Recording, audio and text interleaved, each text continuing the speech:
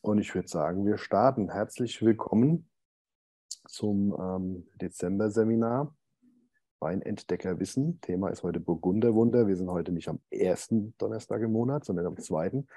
Den ersten haben wir der Nationalmannschaft überlassen. Das hat ja nur so halb äh, geklappt. Äh, umso schöner, dass ihr alle da seid. Es ist Dezember und wie auch im vergangenen Jahr im Dezember sind wir heute schalten wir uns heute alle aus Bodenheim zu, also zumindest die liebe Christina Fischer, die ich heute sehr begrüße, durchs Programm führt und den Jörg Schweitzer. Hallo Jörg, mein Kollege, also wir sitzen alle im gleichen Raum. Das hat schon fast Tradition im Dezember. Und ähm, wir kriegen heute tatkräftige Unterstützung von der Alison Fleming, Ikem Viehhauser, Julia und Benedikt Baltes und der Daniel Deckers von der Frankfurter Allgemeinen Zeitung. Und wir haben ein volles Programm, deswegen ähm, gebe ich jetzt nochmal schnell kurz an Jörg, bevor wir dann loslegen. Ich wünsche euch viel Spaß. Bis später. Jörg. Ja, von meiner Seite auch aus, auch herzlich willkommen. Und äh, ich will auch mich ganz kurz fassen und äh, wie immer kurz nochmal das Prozedere mit den Weinen erklären. Wir werden drei verschiedene Weine heute probieren, allerdings nicht äh, spezielle Weine, sondern wieder nur die Weintypen. Ich gehe davon aus, dass äh, ein, Großzahl, ein Großteil der Zuschauer das alles schon kennt. Und ansonsten bleibt mir nur übrig, das zu sagen, dass der Andreas und ich wir uns um den Chat kümmern. Wenn Fragen sind, bitte im Chat oder in die Frage-Antwort-Funktion stellen und werden uns äh, bemühen, die Fragen zu beantworten. Kurz und klar. Christina, leg los. Herzlichen Dank. Ähm, wunderschönen guten Abend zusammen. Also wir haben heute mm, den wunderbaren Titel Burgunderwunder, der uns umgibt. Und was hat es auf sich mit diesem Burgunderwunder? Es geht einfach um Burgunder in Deutschland und ähm, wir haben eine ganze Menge illustre Gäste. Ich freue mich total, dass ihr alle dabei seid. Ähm, Alison Fleming, Master of Wine, ähm, wird uns die deutschen Burgunder aus internationaler Sicht ein bisschen näher bringen. Mm, sie, Alison Fleming war die erste Frau, die in Deutschland den begehrten Titel Master of Wine tragen durfte. Das ist eine sehr anspruchsvolle Prüfung und dieser Titel wird eigentlich nur für umfassendes und herausragendes Weinwissen vergeben. Und es gibt auch nur 420 MWs weltweit im Moment. Das ändert sich immer mal in 30 Ländern und 10 davon gibt es in Deutschland. Und Alison, du bist verheiratet mit Chef Bernd, ähm, Chef, also Küchenchef Bernd, der seine Lehrjahre bei Mosimann und Marchesi zugebracht hat und hat später im Frankfurter Hof einen eigenen Stern gekocht. Und ähm, dann bist du nach diversen Ausflügen in der Industrie, also in der Weinindustrie, und ähm, anderen Stationen mit deinem Mann ähm, heute unterwegs in einem Format Taste by Fleming, also wo am Master of Wine, nämlich du und der Chef de Cuisine Veranstaltungen organisieren. Alison, wie bist du eigentlich zum Wein gekommen und ähm, was fasziniert dich denn so an dieser Branche? Vielen Dank, Christina. Also ich würde sehr gerne sagen, dass es alles einen großen Plan gab und dass ich immer gewusst habe, dass ich in der Weinindustrie wollte, aber es war wie öfters in diesem Leben, das war eine Reihe von ähm, glücklichen Zufällen. Ich befand mich im Norden Schottlands und ich brauchte einen Job. So habe ich mich um eine Stelle als Assistentin zum ähm, Einkaufsdirektors äh, beworben und das war dann für eine große ähm, Whisky-Unternehmen, aber sie hatten auch Groß- und Einzelhandel mit Wein. Und so habe ich in der Weinwelt angefangen und das war eigentlich, da habe ich gedacht, okay, alles kommt jetzt für mich zusammen. Ich habe Sprachen studiert, so konnte ich mindestens mit den Weinnamen ein bisschen was anfangen, mindestens auf Italienisch, Deutsch und Französisch. Die, die habe ich dann einigermaßen richtig ausgesprochen. Und dann kamen andere Sachen zusammen, auch mit der Sensorik. Da habe ich immer es geliebt, ähm, an dem Kochtopf, als ich äh, ein junges Mädchen war bei meiner Mutter, habe ich dann immer gerne gerochen und geschnuffelt und gegessen und getrunken. Also getrunken nicht als Kind natürlich. Ähm, und dann bei meiner ersten Fachverkostung habe ich verstanden, dass ich überhaupt, nicht, überhaupt nichts verstehe Und dann habe ich gedacht, okay, jetzt muss es sich was ändern und habe ich angefangen, über Wein zu lernen. Es gibt über die Wine and Spirit Education Trust die ganzen Prüfungen, die man machen kann, bis zum Punkt, ähm, also dieses Äquivalent von Weinakademiker, was man hier in Deutschland kennt. Und danach habe ich gedacht, okay, es gibt weiter. Und das ist diesen hohen Berg, den ich ähm, erklettern möchte. Und das war Master of Wine. Und das habe ich dann gemacht. Ähm, das war in 98 und das nächste große Ereignis in meinem Leben war dann, meinen Mann kennenzulernen und mich in einem Koch zu verlieben. Und das kann ich sagen, wenn man sehr gerne isst, ist das eins von den besten Sachen, die man machen kann. Stimmt, ähm, wenn man euch beide zusammen sieht, kann man ganz trefflich sagen, dass das stimmt, liebe Alison. Ja, ja, das ist eine sehr, sehr schöne Kombination. Und was fasziniert mich an dieser Welt des Weines, es ähm, geht insbesondere um diese Dynamie. Es bleibt nie still. Es gibt immer irgendetwas Neues, andere Richtungen, andere Entwicklungen. Ähm, das macht richtig viel Spaß, das alles zu entdecken. Und die andere Sache sind die Menschen, die hinter diesen Weinen stehen. Was sind deren Herausforderungen? Was sind deren Geschichten? Ähm, was haben sie zu erzählen? Warum schmeckt der Wein genauso, wie er schmeckt? Und das ist etwas, was ich sehr gerne entdecke und dann selber die Geschichten weitergebe. Und deswegen freue ich mich sehr auf diesen Abend mit Burgunderwunder. Und wir haben drei interessante Weine zu probieren und werden sicherlich einiges entdecken. Das denke ich auch. Ein weiterer Gast, über den ich ganz stolz bin, ist Dr. Daniel Deckers, der uns heute Abend ähm, mit der Historie der Burgunder in Deutschland ein bisschen vertraut machen wird. Ähm, dazu gibt es viel zu lesen, aber irgendwie nicht so richtig ganz dolle Sachen. Und deswegen freuen wir uns, dass du heute etwas Licht in das Dunkel dieser Welt der Historie bringst und ähm, Dein Weg ist völlig anders, lieber Daniel. Nach dem Studium der katholischen Theologie in Freiburg in der Schweiz, in Bonn, in Bogota und aber auch in Köln hast du schließlich promoviert an der Jesuitenschule in St. Georgen in Frankfurt am Main. Aber irgendwann wurde neben dieser Laufbahn auch der Journalismus geweckt, beziehungsweise die Lust am Journalismus. Du bist 93 in die politische Nachrichtenredaktion der FAZ eingestiegen und bis heute verantwortlich für die Berichterstattung über die katholische Kirche in, in Deutschland. Und jetzt kommt es eigentlich für mich, du lehrst außerdem die Geschichte des Weinbaus und des Weinhandels an der Hochschule Geisenheim. Und jetzt ist meine Frage natürlich aus der Theologie kommend, wie wurde dein Interesse an der Historie des Weinbaus und des Weinhandels geweckt? Ja, guten Abend erstmal aus Frankfurt. Äh, ich könnte natürlich jetzt viele äh, Geschichten erzählen. Ich bin geboren, also groß geworden in Köln, bekanntlich das Weinhaus der Hanse. Und wer schon äh, sozusagen im, im Grundschulalter ministrieren gelernt hat, der hatte natürlich fast jeden Tag Kontakt mit Wein. Also sozusagen das, die ganze Mystik, die dieses Getränk umgibt, ist mir gewissermaßen in die Wiege gelegt. Davon habe ich allerdings lange nicht Gebrauch gemacht, sondern ich bin eigentlich erst relativ spät zum Wein gekommen. Ähm, ich gehöre so zu der Kohorte, die, ähm, ich sag mal, über Jahrzehnte hinweg besinnungslos über diese A61, die Moselautobahn, äh, gefahren bin und hatte für das, was sich unten unterhalb dieser großen Moselschleifenbrücke abspielte, eigentlich nichts übrig, bis ich mal wirklich unten gestanden habe und mich diese Faszination dieser Landschaft ergriffen hat. Und äh, da bin ich auf zwei Menschen gestoßen, die mir die Augen geöffnet haben, also für die Weine, die da entstehen. Das war Reinhard Löwenstein und Andreas Barth. Und seitdem komme ich von dem Wein nicht mehr los. Wobei ähm, ich sagen muss, ich schreibe sie nicht, und das ist sehr selten über Weine als solche, sondern ich schreibe halt über die Geschichte ähm, oder das, das Making-of und all die Krisen und Veränderungen, denen der Weinbau als eine wahnsinnig dynamische Form der Landwirtschaft äh, unterliegt. Und das unterrichte ich seit acht Jahren auch in, in Geisenheim, jeweils im Wintersemester. So viel. Ja, es hört sich alles ähm, ganz prima an und wir sind sehr gespannt. Ich freue mich, ähm, eine weitere junge Dame begrüßen zu dürfen, Ikem Viehhauser aus dem Weingut Huber in Malterdingen. Und ähm, Ikem, du bist in Hamburg geboren, mit Gastronomie und Kulinarik aufgewachsen. Dein Name, ähm, ja, der sagt irgendwie, dass deine Eltern was mit Wein zu tun hatten. Also ganz richtig. Ich glaube, jeder weiß jetzt Bescheid. Du bist deinen Weg gegangen, hast dein Studium an der Fachhochschule Geisenheim, Önologie und Weinbau gemacht warst nach Stationen in Australien und auch bei Dagenau. Also hast du, glaube ich, immer versucht, den kleinen Betrieben Fuß zu fassen, damit du mit den Chefs oder mit den Winzern persönlich auch Kontakt haben kannst und dich austauschen kannst.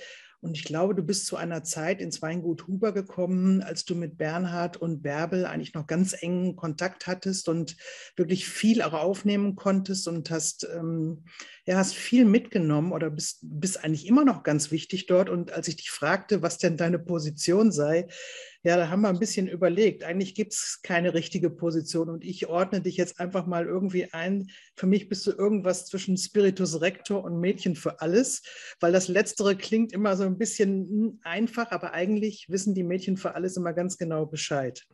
Aber mit dieser ganzen Verantwortung kamen natürlich viele Projekte um, ähm, ins Spiel und neue Projekte und dein Wunsch, irgendwie auch einen eigenen Wein zu machen. Wie kannst du das heute umsetzen?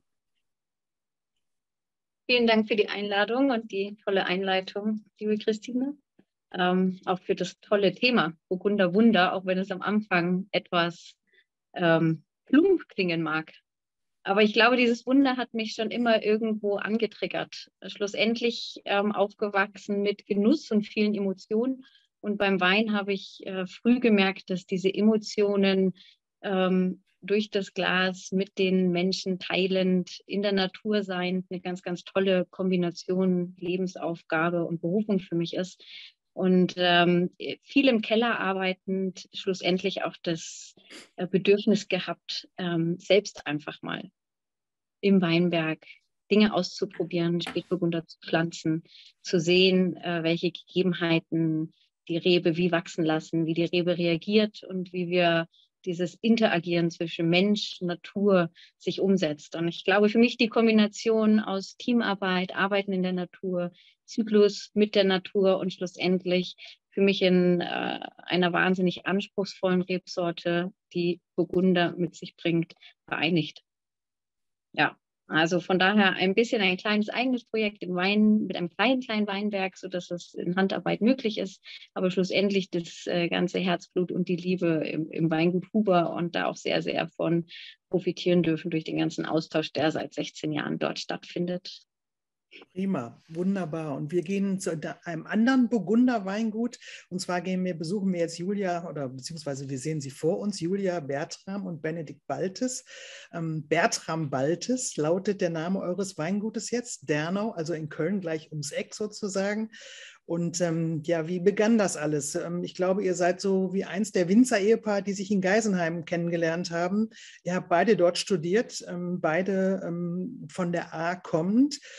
Und ähm, Julia ist dann, glaube ich, während des Studiums oder nach dem Studium sogar deutsche Weinkönigin geworden. Wir haben uns dann irgendwann in den folgenden Jahren kennengelernt, als du unter deinem Mädchennamen Julia Bertram eigene Weine, du hast eine eigene Weinlinie kreieren dürfen, haben deine Eltern dich, haben dir die Zügel lang gelassen und haben dir gesagt, mach mal Mädchen. Und dann haben wir uns kennengelernt und ich war eigentlich sehr beeindruckt ähm, von, von deiner Art und Weise und wie du das angehst mit dem Thema Wein. Und du hast 17 ähm, die fünfte Generation übernommen eures Weingutes. Und Benedikt kennen wir eigentlich aus einem anderen Anbaugebiet, nämlich aus Franken. Also da habe ich dich kennenlernen dürfen. Du hast dein Weingut dann schlussendlich ähm, 2019 verkauft, bist aus Klingenberg zurück an die A gegangen. Ähm, ihr habt euch zusammengetan mit der also jetzt habe ich das Wichtigste eigentlich vergessen, eure Hochzeit. Die hat nämlich vorher stattgefunden.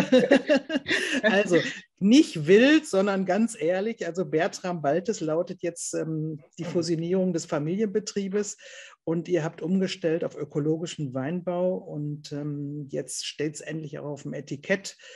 Und ich nehme an, dass Spätburgunder mit Qualitätsanspruch euer gemeinsames Ziel ist. Aber wie gedenkt ihr das denn jetzt gemeinsam umzusetzen?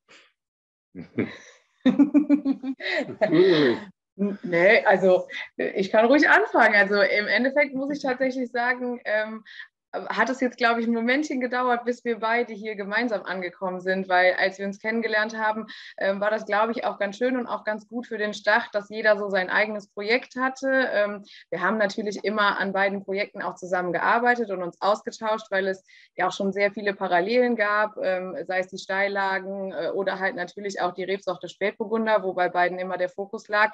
Aber trotzdem, glaube ich, war es ganz gut, dass ähm, jeder halt so sein Projekt hatte, wo er oder sie dann das letzte Wort hatte und ähm, sich dann da so ausleben kann. Und ähm, die letzten zwei Jahre hatten wir jetzt Zeit, da auch, dass jeder hier seinen Platz finden kann. Und ich glaube tatsächlich, wir ergänzen uns da eigentlich ganz gut.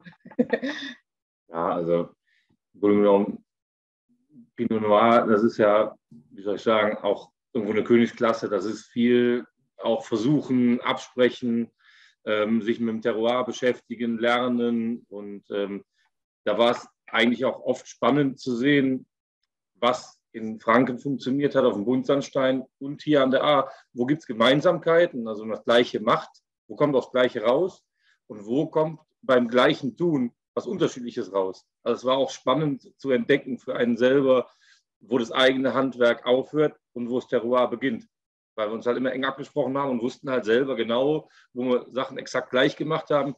Das war eigentlich spannend für beide Böden äh, zu definieren, weil man das halt so genau merken konnte.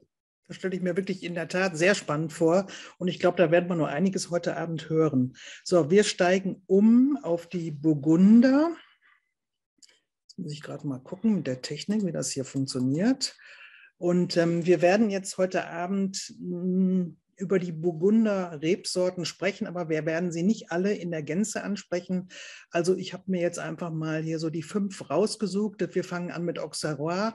Ich habe immer die Trauben abgebildet und auch das Blatt, weil dann kann man den kleinen Unterschied sehen.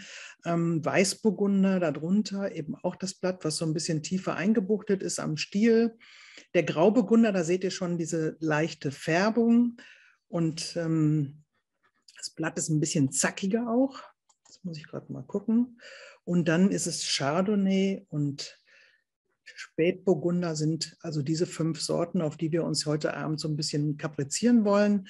Ähm, könnte man vielleicht hier nochmal den Frühburgunder nennen, Mutation vom Spätburgunder, eine ganze Kleinigkeit an der A, gibt es auch nur 225 Hektar. So, und so sieht das jetzt aus, wenn wir das nochmal in Zahlen fassen. Der Auxerrois ist also eine Rebsorte, die auch wirklich keine ganz Riesenrolle spielt. Sie ist in Deutschland seit 1960 zugelassen, hat knapp 300 Hektar und macht damit 0,003 Prozent der Rebsorte in Deutschland aus. Also wirklich nicht so ganz viel. Chardonnay ist eine internationale Rebsorte, gehört zum Quartett der internationalen Weißweinrebsorten Riesling, Chardonnay, Sauvignon Blanc und Muscat und ist in Deutschland erst seit 91 zugelassen. Vorher musste es im Versuchsanbau angebaut werden. Ich erinnere mich an Weine vom Weingut Knipser beispielsweise, aber auch Rebholz haben bereits früh mit ähm, Chardonnay angefangen. Sicherlich eine der populärsten Rebsorten der Welt ähm, findet man überall. Und zurzeit sind es ungefähr 2600 Hektar, die wir in Deutschland haben, was 2,5 Prozent der Rebsorte ausmacht. Die meisten Stöcke stehen in Rheinhessen, in der Pfalz und in Baden.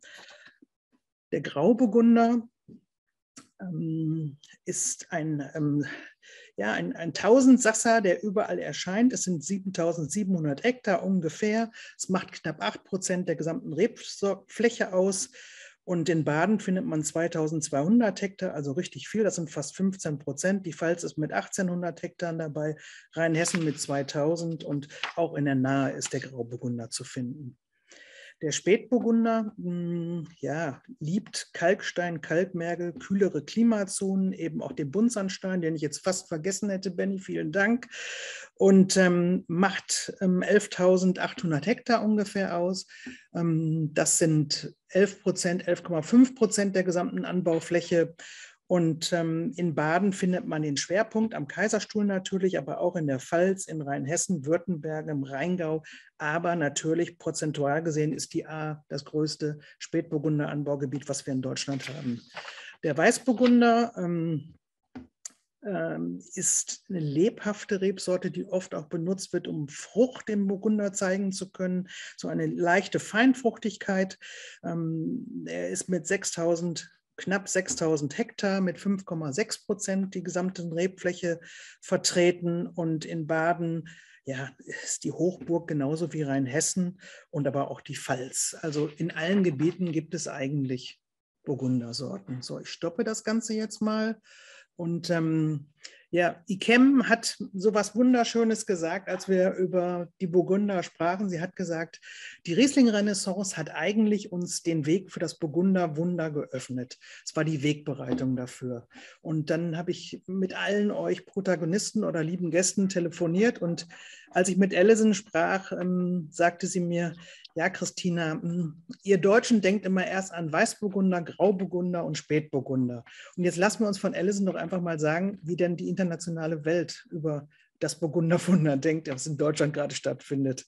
Ja, also als ähm, Nicht-Deutscher oder Zugezogener habe ich, ähm, wenn ich an Burgund, wenn ich Burgunder, das Wort Burgunder höre, dann denke ich immer an Burgund in Frankreich. Und diese Weine sind ja aus Chardonnay und Spätburgunder, also Pinot Noir, gemacht oder vinifiziert und nicht aus Weißburgunder und Grauburgunder, was man ja auch in Deutschland findet. Und Nicht-Deutschen kennen ähm, Deutschland als Rieslingland. Das ist ähm, das Land, was sowieso am meisten hier anbaut mit über 24.000 Hektar.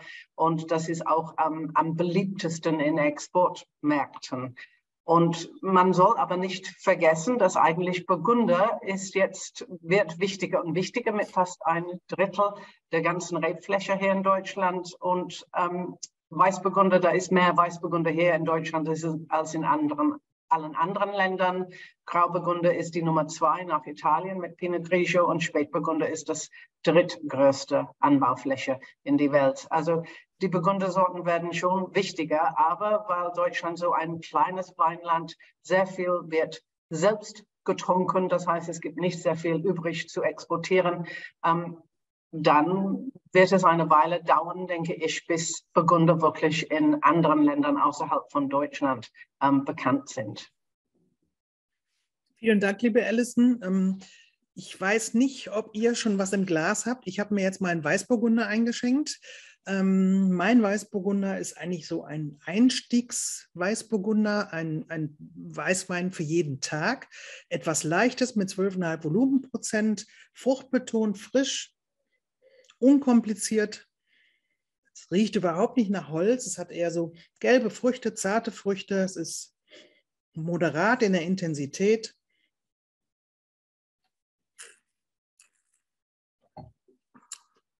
Und eigentlich ganz genau das, was man sich so vorstellt, wenn man abends nach Hause kommt und irgendwie sich niederlässt und als Aperitif einen wunderbaren, kühlen, frischen Einsteigerwein genießen möchte.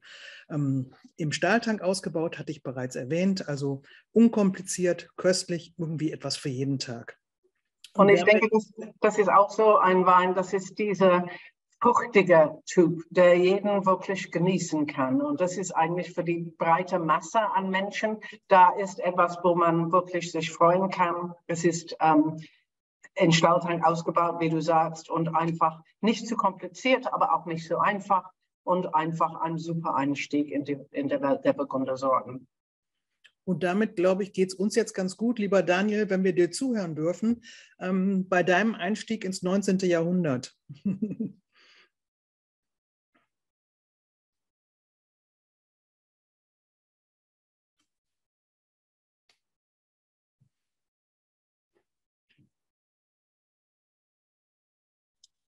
Lieber Daniel, du müsstest noch dein Mikrofon einschalten. So, passt jetzt? Wunderbar. Bin ich jetzt danke. gut zu hören? Ja, okay, vielen Dank. Ja, perfekt. ja, Christine, das war ein wunderbarer Einstieg. Ich wollte das ein bisschen äh, unterfüttern, ähm, im frühen 19. Jahrhundert anfangen. Ähm, nicht, dass das Burgunderwunder damals schon begonnen hätte, aber zumindest, was man so sagen kann, ist, dass die drei wichtigsten Rebsorten aus der Burgunderfamilie, also Weißburgunder, Grauburgunder und auch Spätburgunder schon in Deutschland relativ früh im 19. Jahrhundert bekannt waren. Äh, es gibt allerdings ähm, Artisten, die wollen wissen, dass man mit äh, Spätburgunder schon rechnen muss in der Zeit etwa von Karl dem Großen am Bodensee oder wie auch immer. Und neulich ähm, fand ich eine wunderschöne ähm, Behauptung am 5. November 2022 von dem Rahmen der glorreichen Rheingauer Tage äh, eine. Lieber Daniel, Entschuldigung, dass ich ja? nochmal unterbreche. Du hast ja? leider deinen, deinen ähm, Modus von der Präsentation, äh, die Präsentation ah. müsstest du nochmal umschalten. Okay, das geht wie? Aha, warte mal. also ich sehe es auf meinem Monitor, sehe ich das eigentlich ja, relativ. Nein, du siehst, du siehst immer die Nachfolgefolie noch und das ist dann so klein. Ah, Deswegen ist, vielleicht ja. beendest du nochmal die, die Präsentation und startest sie nochmal neu. Sorry fürs Unterbrechen, aber sonst kann man vielleicht den Text. Ist doch wunderbar. Sehen.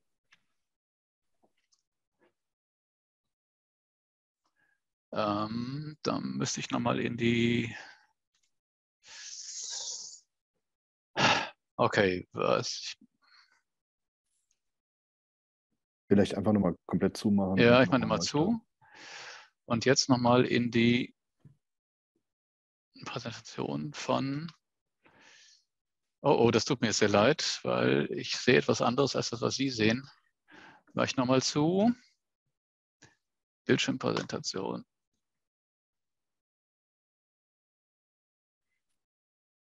Hm, ich habe immer die Referentenansicht, das tut mir jetzt leid. Ja. Das macht aber nichts. Ich glaube, wir können Einfach das so lassen. Okay, versuchen wir es mal einfach so. Jedenfalls, was zu finden war, ähm, war eine Behauptung, da ging es um Assmannshausen, dass wir, da geht es um die Rheingauer Winzer, den Rotwein in Assmannshausen seit dem Jahr 1108 hegen und pflegen. Das ist eine der typischen Behauptungen, wo, wo Dinge, die man sehr, sehr viel später erst urkundlich festmachen kann, äh, in eine gewisse, eine graue Frühzeit zurückprojiziert, um der Gegenwart eine gewisse Dignität zu verleihen. Mein Argument ist immer, das eine ist die, äh, sozusagen die Memoir, die Erinnerung, die man haben will, äh, die die Gegenwart erhält. Und das andere ist die Histoire, die Geschichte. Und da sieht es doch etwas anders aus. Wo man im Rheingau auf sicherem Boden mitsteht, ist Rotwein ab 1740, auch Spätburgunder, das heißt einige hundert Jahre später als das, was man sich hier vorstellte. Was Sie hier sehen, ist eine, ein Verzeichnis der Rebsorten, ähm, immerhin aus Naumburg an der Saale von Stadtrat Trainer, der einen, um 1840 rum eine Rebschule angelegt hat. Und er hat eben drei verschiedene Burgunder in seiner Rebschule drin. Einmal den Kläfner Blau mit den entsprechenden Synonymen, Klebrot, Burgunder, Gutblau genannt, aber genauso den Ruhländer, Rheingau oder Grauer Malvasia oder auch den Weißkläven, das ist der weiße Burgunder. Und interessanterweise schreibt Ewald den Weißburgunder eine leider erst seit wenigen Jahren bei uns eingeführte, für den Weinbau höchst beachtenswerte Sorte. Der Mann war prophetisch, weil in der Tat Weißburgunder heute an Saale und Stroh gewissermaßen die Leitrebsorte ist. Ähm, was über ähm, Burgunder, äh, der Rot, den Pinot Noir sagt, sie passt auch für mittelgute Lagen, gibt einen sicheren Ertrag. Der Wein ist süß, feurig. Man macht ihm aber den Vorwurf, dass er keine Haltbarkeit auf dem Lager hat, weswegen man ihm gern einen Zusatz von Nummer 17 und 19 gibt. Das sind ja Steckrotweine. Das ist im gesamten 19. Jahrhundert bis weit ins 20. Jahrhundert hinein ein großes Problem äh, von Spätburgunder Weinen, dass die entweder sehr hell sind in Deutschland, äh, also optisch gar nichts mit klassischen Burgundern zu tun haben und gleichzeitig, dass sie nicht farbstabil sind. Das heißt, dass sie auf der Flasche oder im, eben schon im Fass ziemlich schnell zerfallen. Aber ähm, jetzt zeige ich Ihnen nochmal das, was man dann nach der Erfindung der Ampelographie, der Rebsortenkunde dann über äh, Burgunder schrieb. Das ist der Atlas der wertvollsten Traubensorten der beiden Brüder Goethe, von denen einer in Marburg an der Drau und einer in Geisenheim arbeitete. Das sind die wichtigsten Rebsorten mit wunderschönen Tafeln. Hier sieht man nochmal, Christina, so wie man im 19. Jahrhundert dann äh, Reben gezeichnet hat mit der typischen Traubenform und der Blattform. Der Weißburgunder, die Beschreibung lasse ich jetzt mal weg, das kann man sich im Internet auch anschauen, wenn man es runterlädt. Der Ruhländer mit den charakteristischen eingefärbten Trauben und dann natürlich der Pinot Noir mit den typischen Blättern. Hier ist es interessant zu sehen, dass der Wein so beschrieben wird, ähm, dass es volle Weine sind, ähm, dass sie auch sehr dunkel sind, aber immer die wertvollste Traubensorte für die Rotweinbereitung, sind voll überaus wohlschmeckend, von feinem, edlen Aroma, stark und schwer. Das heißt, man wusste schon im 19. Jahrhundert, dass man äh, mit der Pinot Noir Traube etwas sehr, sehr Edles hat. Aber das Problem ist, ähm, dass diese ähm, Rebsorte höchste Ansprüche an den Standort stellt. Ähm, und daher gewissermaßen in einer natürlichen Konkurrenz zum Riesling stehen. Und das ist eben der Punkt, was man im 19. Jahrhundert ähm, an deutschen Spitzenweinen suchte, war nicht Pinot Noir, geschweige denn war Weißburgunder oder Grauburgunder, sondern Deutschland war Rieslingland. Die Hocks und die Moselles, die es weltweit gab, die man zu den feinsten Speisen in den edelsten Menüs servierte, das waren ausnahmslos äh, Riesling-Weine, manchmal ein bisschen mit Orléans oder auch Traminer verschnitten. Also wenn man heute über Assmannshausen spricht, äh, Sie sehen hier den berühmten Höllenberg und hier die preußischen, preußische Domäne, die in den frühen 20er Jahren gebaut wurde, so hat man dies in der Tat getan, um ähm, dem Rotwein die Ehre zu bereiten. Aber Assmannshausen hatte im 19. Jahrhundert fast eine singuläre Stellung. Sehr interessant ist allerdings, dass man schon sehr, sehr früh im 19. Jahrhundert auf die Idee gekommen ist, auch den deutschen Burgunder in eine bestimmte Relation zu setzen zu dem Burgund aus Burgund, also dem Pinot Noir. Und es war interessanterweise ein Franzose, André Julien, der in einem seiner Bücher äh, geschrieben hat, äh, man behauptet, dass in guten Jahren die besten Weine ein wenig geringer oder wenig schlechter sind als unsere großen Weine der Haute Bourgogne. Und sie haben mit ihnen gemeinsam, dass sie in der Tat reifen können, aber er sagt, ähm, es gibt sehr, sehr wenig von denen, äh, die, den Weinen einer exzellenten Qualität. Und es ist sehr, sehr schwer, sich in den Besitz dieser Weine zu bringen. Man muss sehr genau auf die Wortwahl achten. Er sagt, die allerbesten Weine sind in den guten Jahren ein wenig geringer als die großartigen Weine äh, aus Burgund. Will sagen, es ist eine ausgesprochene Rarität und in der Tat ähm, spielen wirtschaftlich gesehen äh, spielen Burgunderweine, sowohl der Pinot Noir wie auch die anderen beiden im 19. Jahrhundert so gut wie keine Rolle.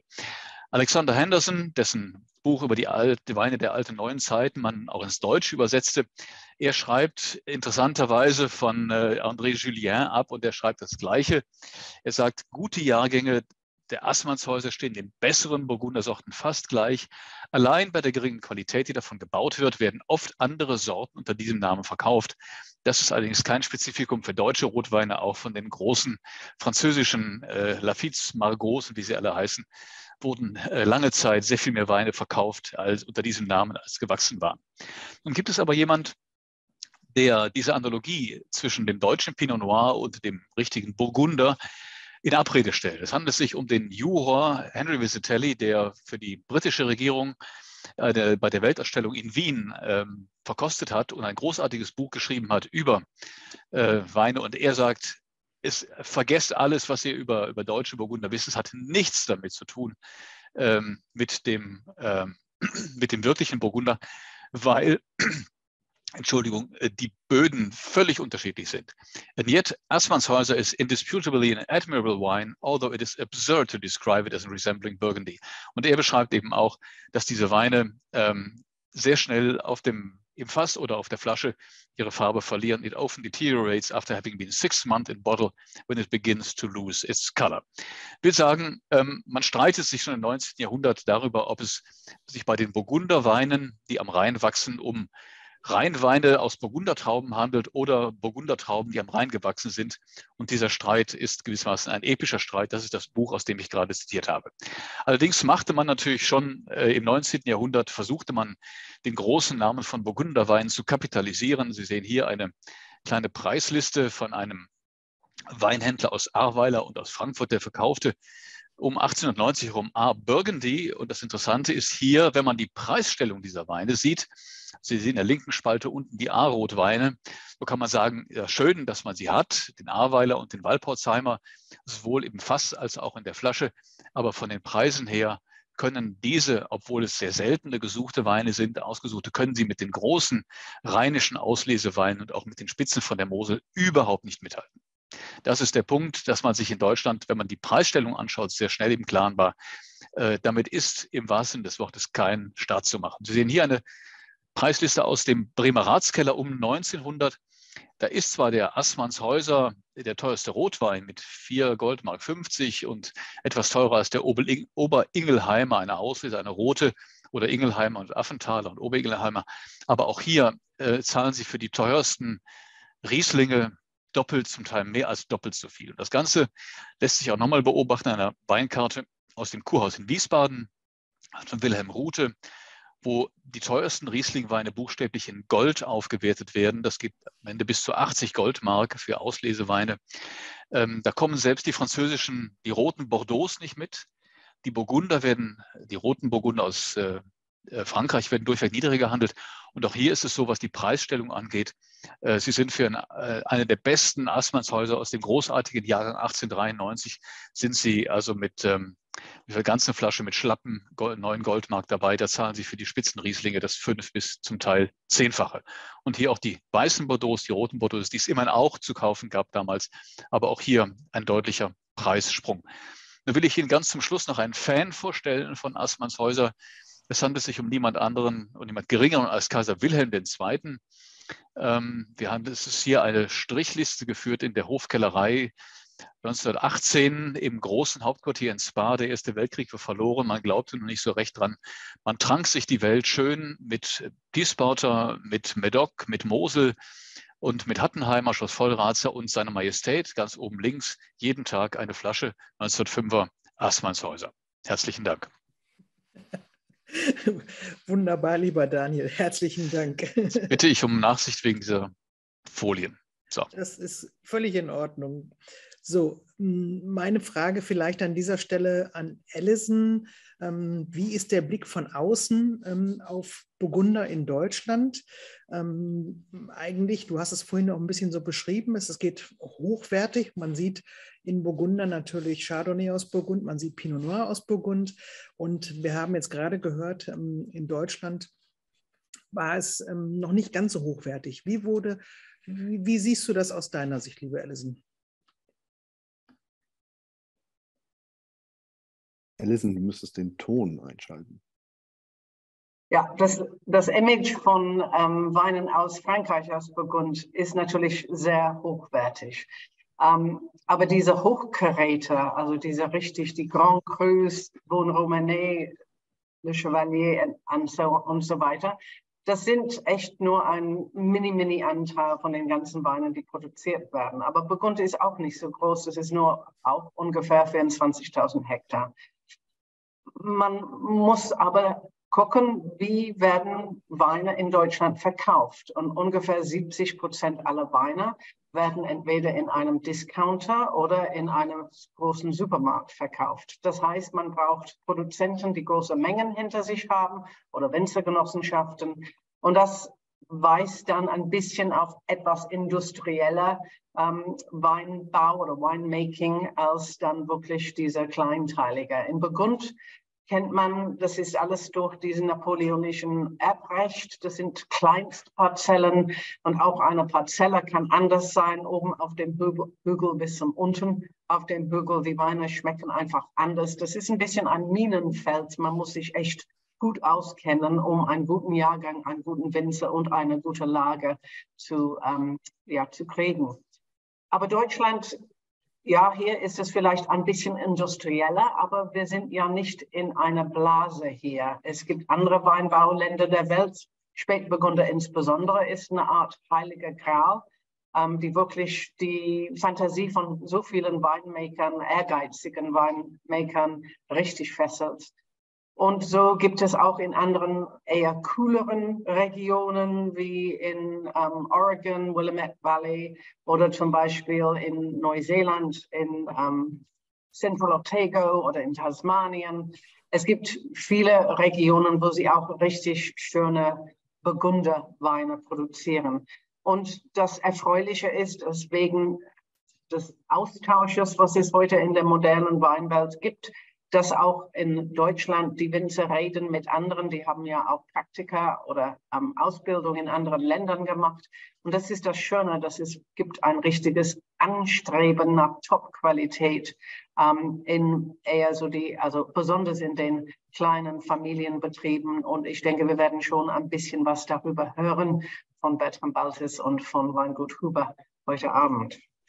Das denke ich auch. Und ähm, vielleicht noch mal ein kurzer Schwenk zu Daniel, Dr. Daniel Deckers, wie die Ausgangslage oder wie war die Ausgangslage vor Beginn des Burgunderwunders? Also diese historischen Rotweinregionen Aßmannshausen, Malterdingen, Ingelheim und zum Teil vielleicht auch die Südpfalz.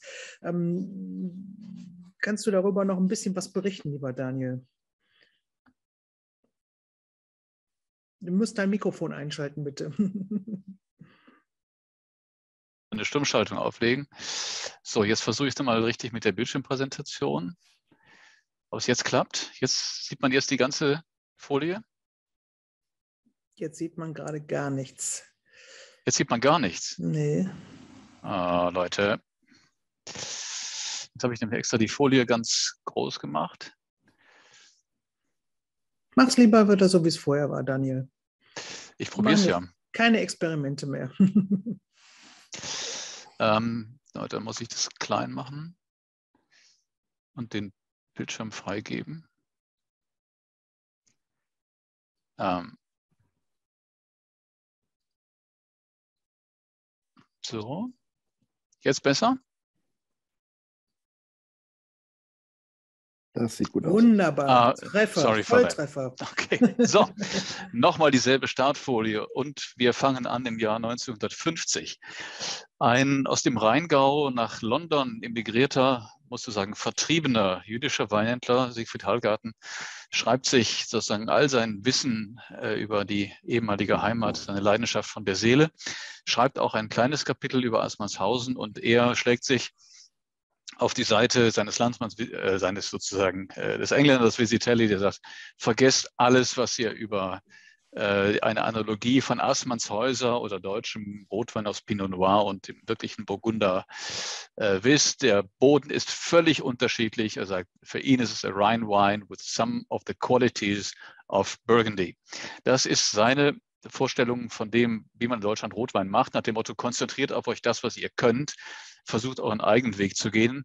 Aber interessant ist in diesem Buch vor allem, äh, dass er hm, beschreibt, was sind die best known German Red Wines. Also wie gesagt, wir reden von 1950 und er weiß, dass an der A in der Tat äh, Rotwein oder Pinot Noir wächst. Er hat einige äh, Lagen, Walsbolzheim, Daubhaus, Son Sonnenberg. Äh, dann weiß er, das ist wichtig zu wissen, es gab auf der gegenüberliegenden Seite im, im Rheinhessen, Rheinhessischen immer eine Burgunder-Tradition, eine Pinot-Tradition, äh, gerade auf diesem Kalkmergelring, der sich um Ingelheim herum legt, also ideale Anbaubedingungen eigentlich für Pinot.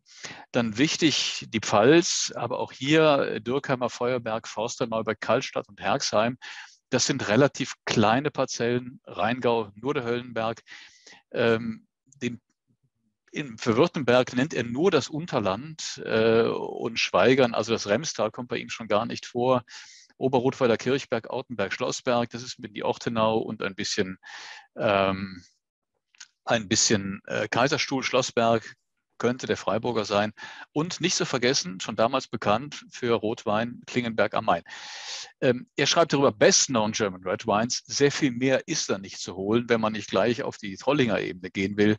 Das heißt, Deutschland ist kein Rotweinland gewesen und in der Tat bis weit in die äh, 80er Jahre hinein waren die Weine, äh, die man in Deutschland zumindest für relativ günstiges Geld erstehen konnte im Rotweinbereich, das war Trollinger Lemberger oder der legendäre Amselfelder, der aus dem ja, nachmaligen Kosovo importiert wurde.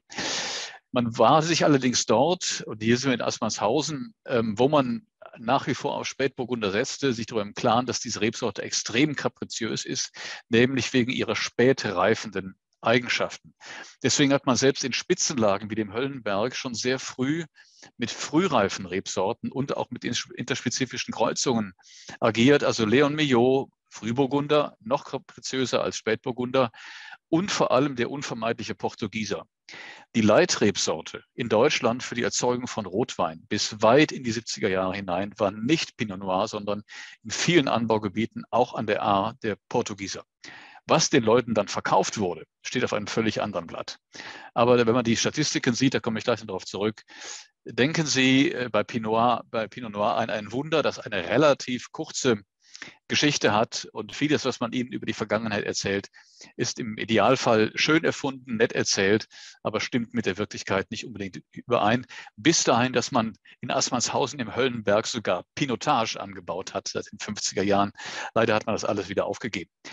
Wo stehen wir aber am Beginn dieses ähm, deutschen Burgunderwunders? Jetzt sage ich Ihnen etwas relativ Kompliziertes, keine Rebsortenstatistik, sondern eine Statistik sozusagen der Nachfrage ähm, nach Edelreisern beziehungsweise ähm, Edelrebsorten in den einzelnen Anbaugebieten. Es ist wichtig zu sehen, ähm, Christine hat es anfangs ja auch schon gesagt, wenn wir über Burgunder reden, gibt es eine starke regionale, ich will nicht sagen Verzerrung, aber regionale Schwerpunkte. Fangen wir an mit der ersten Folie, Württemberg. Spielt Burgunder zu Beginn der 70er Jahre überhaupt keine Rolle. Und auch der Lemberger äh, dessen Rebflächenanteil geht von sieben auf sechs Prozent ähm, innerhalb von fünf Jahren zurück. Der Portugieser steigt, eine Massenrebsorte, sehr geeignet dazu, den damals vorherrschenden leichten und vor allem halbtrockenen Wein zu erzeugen. Gut, Trollinger ist eine württembergische Geschichte für sich. Äh, da brauchst du ein bisschen Lemberg, um den Trollinger ein bisschen röter auszusehen, als er von Natur aus ist. Und wie gesagt, das ist Württemberg. Ein ganz anderes Bild zeigt sich dann ähm, in Franken. Die Rebfläche des Silvaners geht dramatisch zurück auf Kosten oder zugunsten des Müller-Thurgaus, nicht etwa zugunsten anderer ähm, sozusagen Qualitätsrebsorten, sondern ein Massenträger.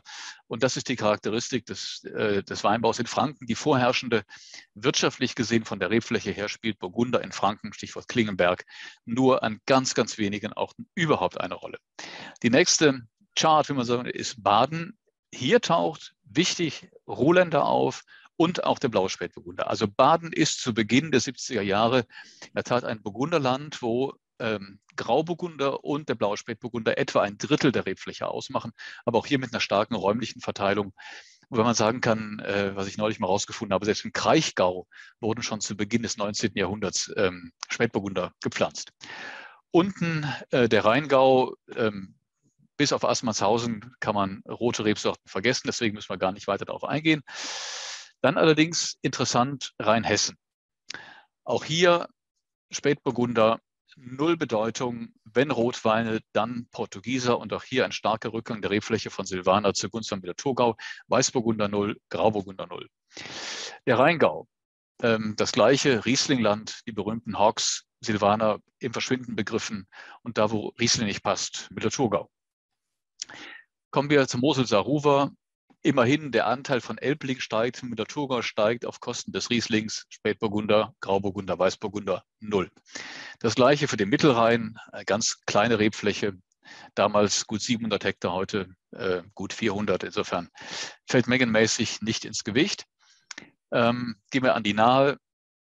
Ein Weiß, Weißweingebiet, Silvaner an der Nahe, muss man sich vorstellen, noch die Leitrebsorte zu Beginn der 70er Jahre Müller-Thurgau auf dem Vormarsch, Riesling.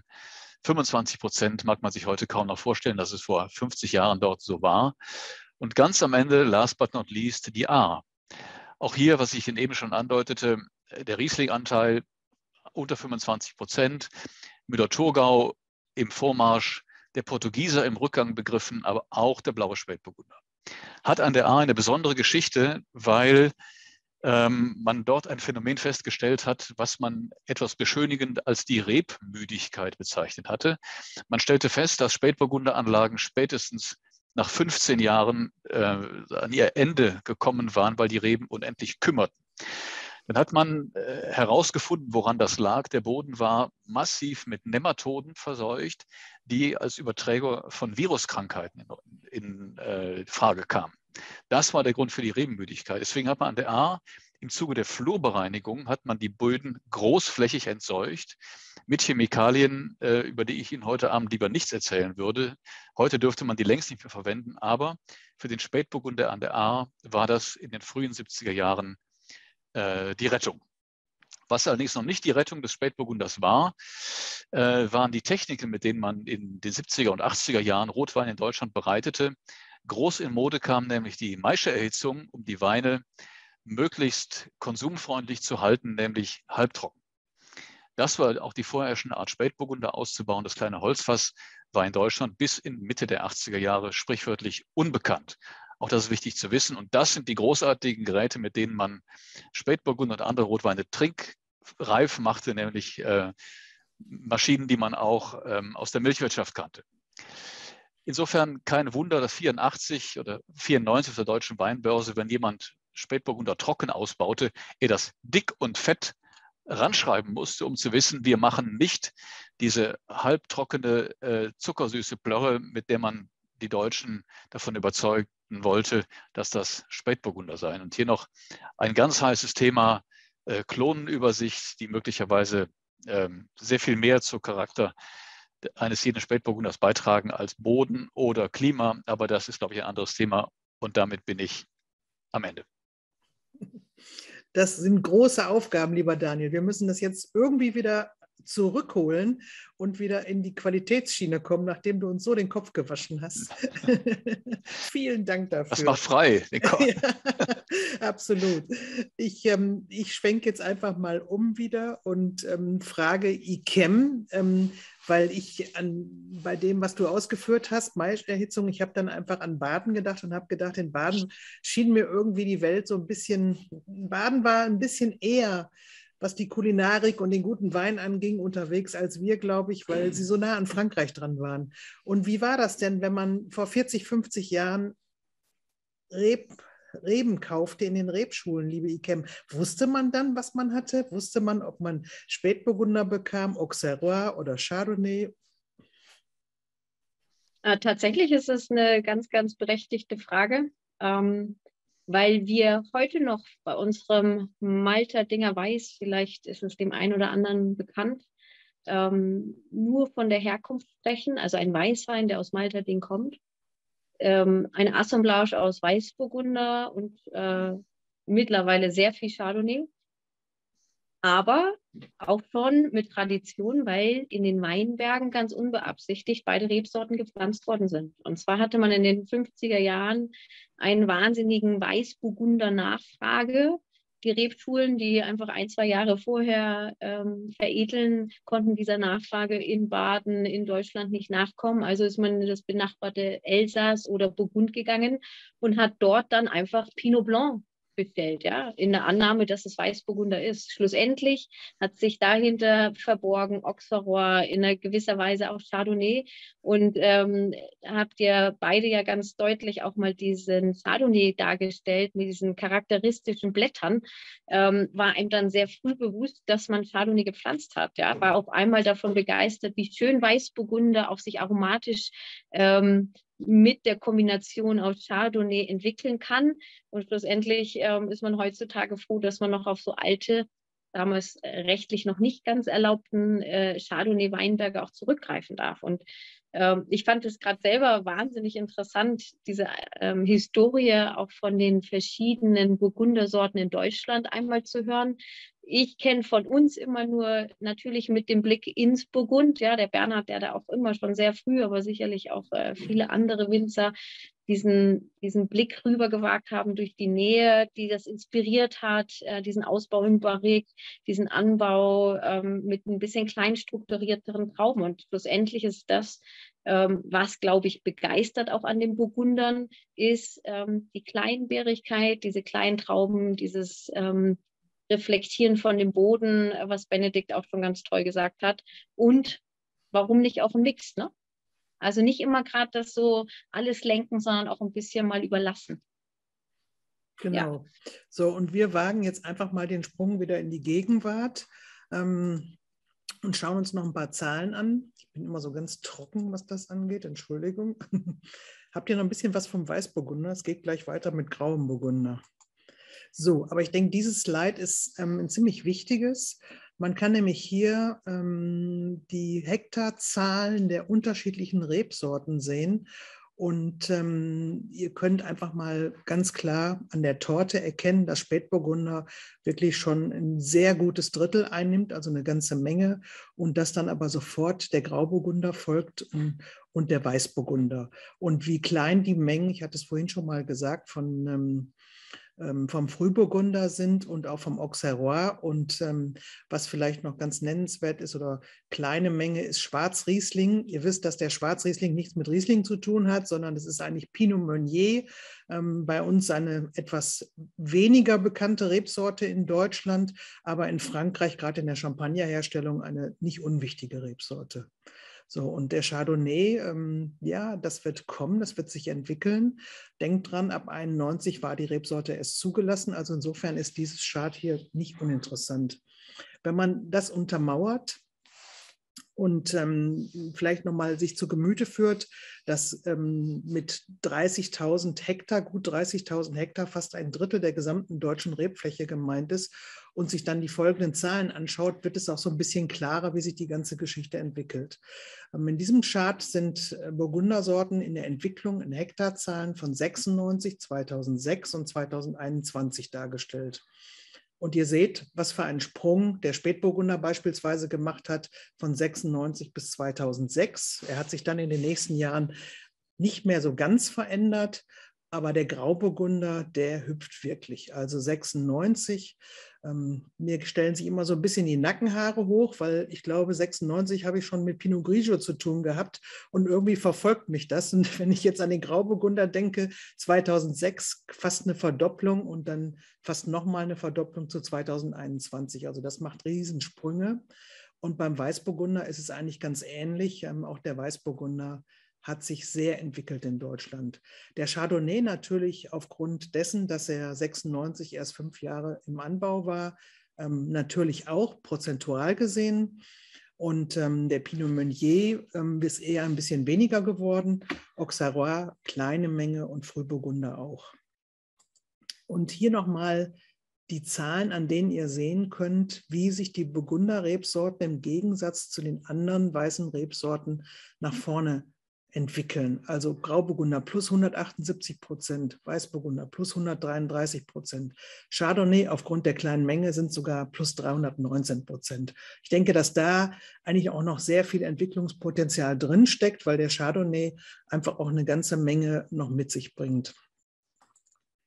Spätburgunder plus 25 Prozent. Pinot Meunier ist ein bisschen runtergegangen. Also die Rotweinsorten hier auch alle etwas höher in der Entwicklung. Ähm, die Burgundersorten, hm, früher hätte ich eigentlich ganz wenige Kreise machen können um die Anbaugebiete. Also hätte ich natürlich angefangen in Aßmannshausen, ich hätte dann Ingelheim aufgeführt, logischerweise, weil das irgendwo so die alten klassischen Anbaugebiete sind. Aber wenn man jetzt nach Rheinhessen schaut, hat man auch noch ganz andere ähm, Flächen, die mit Spätburgunder bestockt sind, auch die nah mit Burgundern bestockt sind, auch die nahe entwickelt sich. Und an der Mosel ist es nicht nur unten im Süden, sondern mittlerweile an der ganzen Mosel wird Weißburgunder angebaut, aber auch eben Spätburgunder. Die A, über die brauchen wir nicht zu sprechen, die ist natürlich ähm, ganz weit vorne prozentual gesehen und Baden und Württemberg natürlich auch. Und in Franken ist hier der kleine Kreis, ähm, das ist Klingenberg und ähm, Bürgstadt im Grunde, die ähm, dort relativ nah zusammenliegen und wo man die besten Spätburgunder Frankens findet. So, und ähm, jetzt muss ich ganz schnell nachdenken. Jetzt habe ich den Faden verloren, aber der kommt gleich wieder. Ich würde sagen, dass wir uns jetzt den Grauburgunder einschenken, bevor wir weiterreden. Ich weiß nicht, was ihr im Glas habt, aber ich gucke mal. Also bei mir ist es ähm, ein Lagenwein. Er kommt aus Rheinhessen. Das ist ein Teufelsfahrt. Von welchem Weingut darf ich natürlich nicht verraten. Aber die Lage ähm, spielt hier eine Rolle. Es ist ein bisschen komplexer als sein Gutswein und ein bisschen intensiver, ein bisschen vielschichtiger. Es hat deutlich mehr Struktur. Die Rebstöcke sind, ähm, ich glaube, knapp 50 Jahre alt. Und man merkt ein bisschen das Holz, aber das Holz ist sehr gut integriert. Ähm, man hat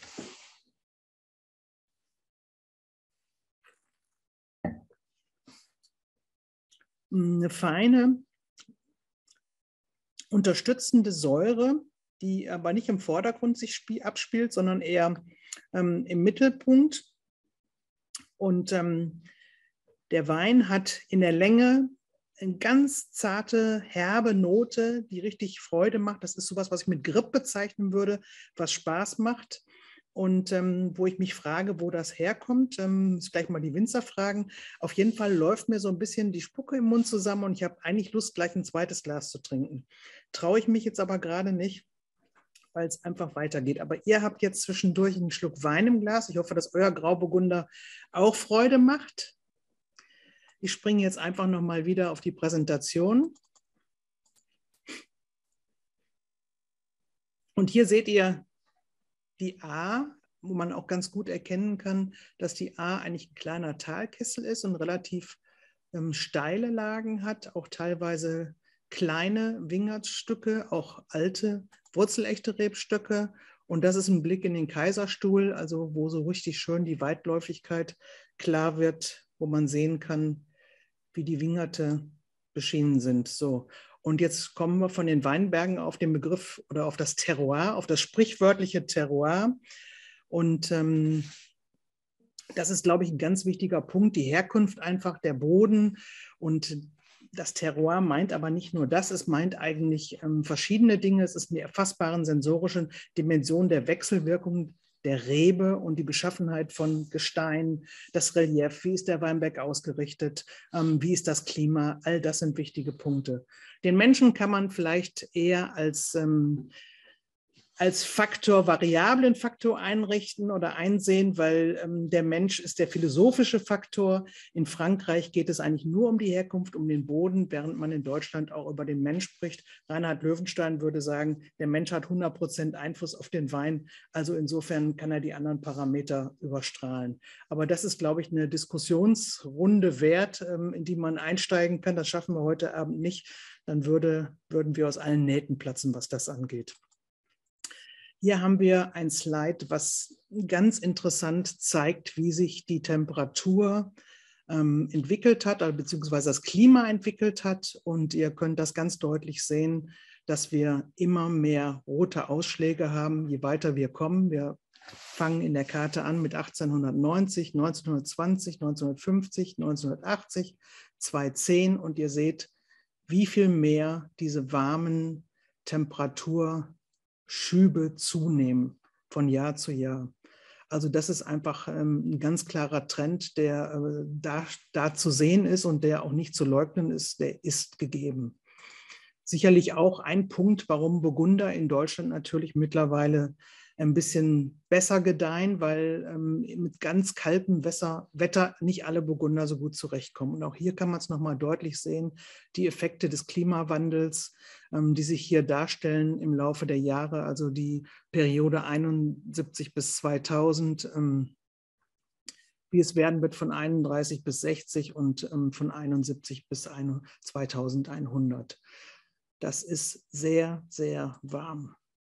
Und das ist auch ein interessantes Chart. Das sind eigentlich die Rebsorten, die wir im Jahr 2040 zu erwarten haben oder erwarten könnten. Ähm, ihr seht, dass die kühlen Rebsorten in den Norden von Deutschland rutschen, also fast bis nach Niedersachsen, wo ähm, heute überhaupt noch kein Weinbau da stattfindet. Und dass wir in den südlichen Lagen, gerade am Rhein, ähm, über Grenache, Benis Blanc und Merlot sprechen, also Cabernet Franc, Rebsorten, die wir bisher eigentlich wesentlich weiter im Süden gewähnt hatten. So, hier nochmal unsere Burgunder-Anbaugebiete und die kleinen Kreise, die wurden jetzt immer größer und größer. Und insofern ähm, hat oder führt die Temperatur dazu, dass die Burgunder sich immer wohler fühlen. Das sind unsere Bodenstrukturen und wo ich jetzt mich ganz furchtbar schäme, lieber Benny, weil der Buntsandstein müsste natürlich auch noch drauf. Und ähm, Vulkangestein, also ich fange mal mit dem ältesten an, Vulkangestein, Schiefer. Das sind Vulkangestein eher im Badischen zu finden. Den Schiefer, den finden wir natürlich an der A und ähm, den Buntsandstein, wie vorhin schon gehört, in Franken, in Klingenberg beispielsweise. Kalkstein ist eigentlich der Top-Boden, der auch in Malterdingen stattfindet und an verschiedenen Kalkbänken, von denen der Daniel Deckers vorhin schon gesprochen hatte. Und der Kalkmergel ist eigentlich der Kalkstein, der so ein bisschen verwittert ist, der ein bisschen mehr Feuchtigkeit speichern kann, der aber auch tiptop ist für die Burgundersorten. Und Löss ist der eher einfachere Boden, aber dort gedeihen natürlich auch sehr gerne Burgunder, weil sie dort alle besonderen Nährstoffe zur Verfügung haben. Ich springe auf die Weintypen, auf die Burgundertypen in dem Fall. Und wir haben uns ähm, überlegt, dass wir eigentlich ja auch über unterschiedliche Typen sprechen, wenn wir über Burgunder sprechen. Ihr habt es vorhin schon mitbekommen, mein Weißburgunder war eher die Abteilung leicht und frisch. Also ein schlanker Wein mit einer lebhaften Säure, maximal 12,5 Volumenprozent und ist im Stahltank ausgebaut.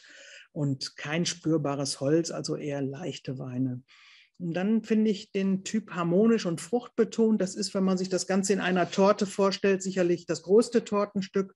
Diese Weine gibt es auf der ganzen Welt. Sie leben von moderater Intensität, von Säure, die gut integriert ist. Ähm, sie haben oft angenehme, reife, würzige Aromen, sind für manche Leute schon der etwas bessere Wein ähm, Alkoholgradation zwischen 12 und 14 Volumenprozent. Sie können Rebsorten rein sein. Sie können aber auch als Cuvée angeboten werden, Ausbau im Stahltank oder im Holz komplex und elegant, das ist das allerkleinste Tortenstück. Das ist das, was alle Winzer eigentlich auch gerne machen würden.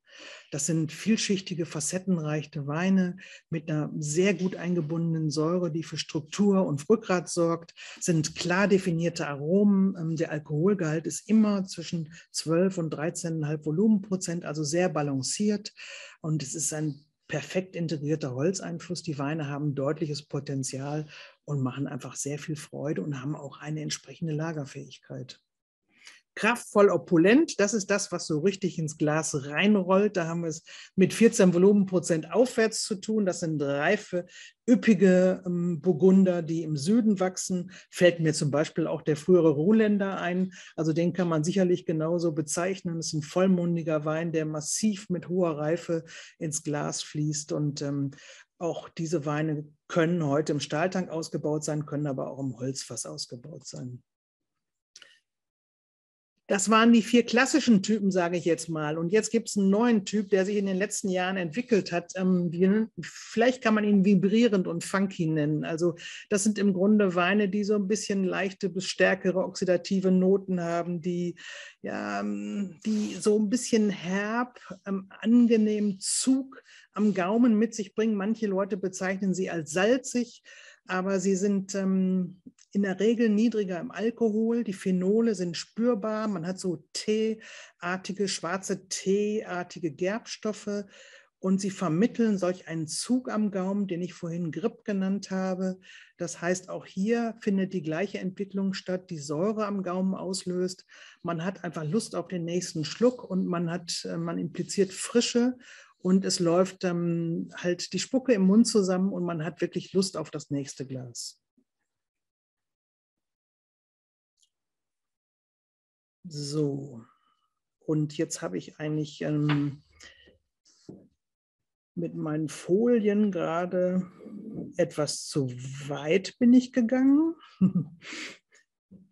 Und ähm, würde jetzt einfach ähm, nachdem wir die Böden schon besprochen haben, hm, vielleicht während wir den Spätburgunder einschenken, die Winzer fragen, ähm, was ihr sagt, ob es so ist, dass die, dass die ähm, unterschiedlichen Böden, die wir vorhin beschrieben haben, oder das unterschiedliche Terroir, dass das unterschiedliche oder charakteristische Geschmacksprofile erzeugen kann. Oder ähm, ob eigentlich ähm, diese Weintypen oder diese Burgundertypen anders entstehen. Ja, bitte, Ike, fang an. Oder? So. Soll ich? Gerne, Benjamin. Ja. Benedikt, ich schaff's nicht. Sag lieber Benny. Entschuldigung. Nee, alles gut. Also ja, da ist ja eben schon ein bisschen was zu gesagt worden. Also ähm, ich, weiß, ich weiß nicht mehr genau, was Reinhard Löwenstein gesagt hat, aber äh, ich glaube, so 100 Prozent Einfluss darauf. Und natürlich kann ich alles, äh, der Winzer geht raus, erntet die und macht was draus. So, und wenn er unbedingt will, dann kann er versuchen, das natürlich in eine bestimmte Richtung zu biegen und zu verändern. Wird oft gemacht, weil man vielleicht sag ich mal, einen Trend hat oder irgendwo vielleicht im Markt irgendein Potenzial erkennt, seinen Wein besser loszuwerden, wenn er so oder so schmeckt. Das kann man alles machen. Ich bin aber immer der Verfechter davon, dass ja im Gegensatz, wenn man jetzt sagen wir ein Auto produziert, dann kann ich mir alle Teile weltweit kommen lassen, baue ein Auto für Kunden X und dann ähm, mache ich das eben. Das Problem, ja, finde es Stärke, bei uns sitzen die Reben halt äh, tief in der Erde und werden erst richtig gut, wenn sie 50 Jahre oder 25 Jahre alt sind oder älter werden. Ähm, da sind Zeitspannen, da gehen zehn Trends an dir vorbei. Und man muss sich gut überlegen, inwieweit ich eben äh, versuche was zu verbiegen, um bestimmtes kurzfristigen Erfolg irgendwo zu haben. Und wenn ich sagen wir mal, davon Abstand nehme, dann geht es ganz stark in die Suche nach Stärken. Und da bin ich ein Freund davon, eben Stärken zu stärken und nicht Schwächen zu kaschieren.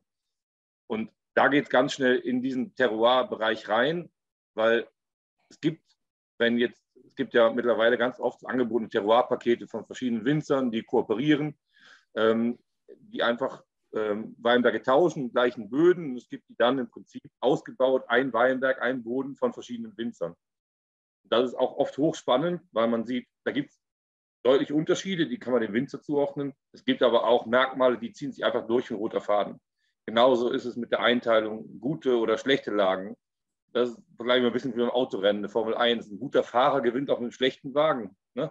Ein schlechter Fahrer wird mit einem hervorragenden Wagen aber trotzdem nicht gewinnen. Und so gibt es natürlich den Faktor Mensch, der das Ganze irgendwo äh, moderiert, einordnet, da natürlich auch äh, Veränderungen dann vornimmt.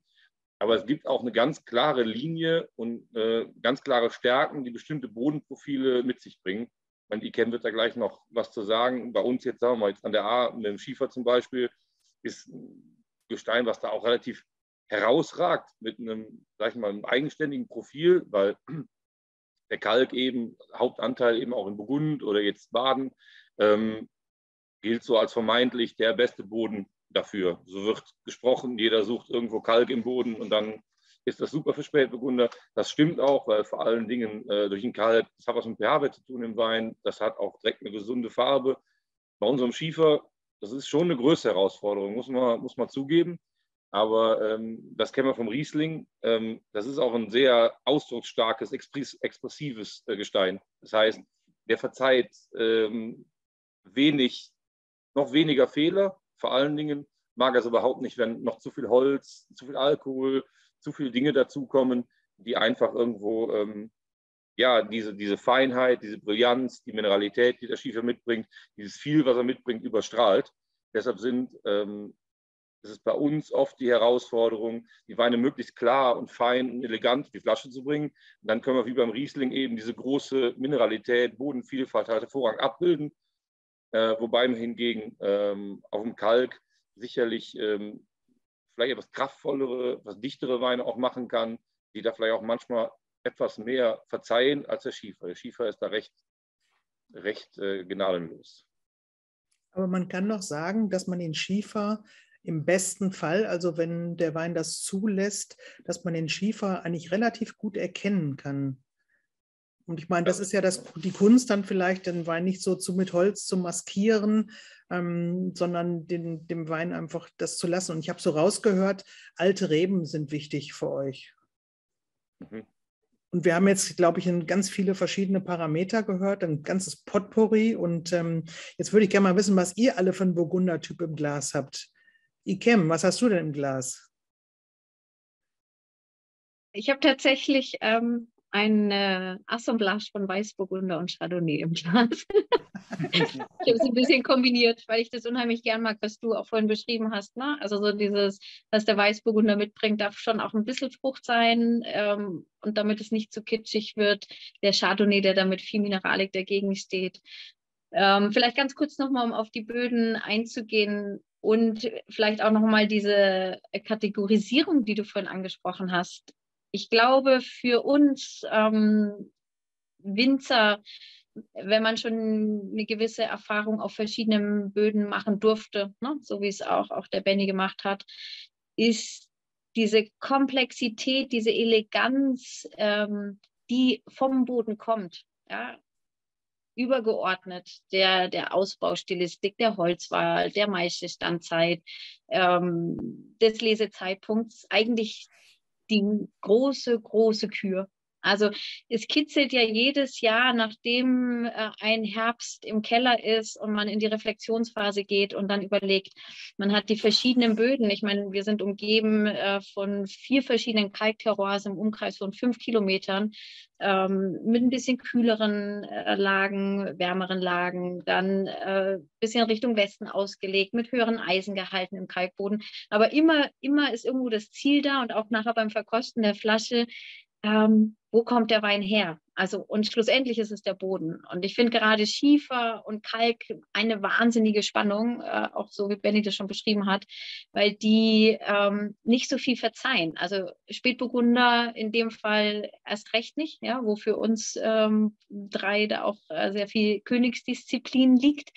Ähm, aber gerade macht es das aus. Ja? Also gerade der Boden bringt so dieses, diese Feinheit mit rein. Und äh, das Beispiel, was Benny auch gerade gesagt hat, ist mega, mega spannend, dass man drei verschiedenen Winzern die, die gleichen Trauben gibt. Ja, natürlich hat der Winzer einen Einfluss, aber trotzdem wird man bei äh, allen drei ähm, Winzern rausschmecken, abgesehen von der Ausbaustilistik, von den Entscheidungen, wie baue ich den Wein aus, welches Holzfass ähm, benutze ich, wird man den Boden rausschmecken, wenn das fein gemacht ist. Und das ist schlussendlich ja das Ziel, worüber wir auch äh, diskutieren.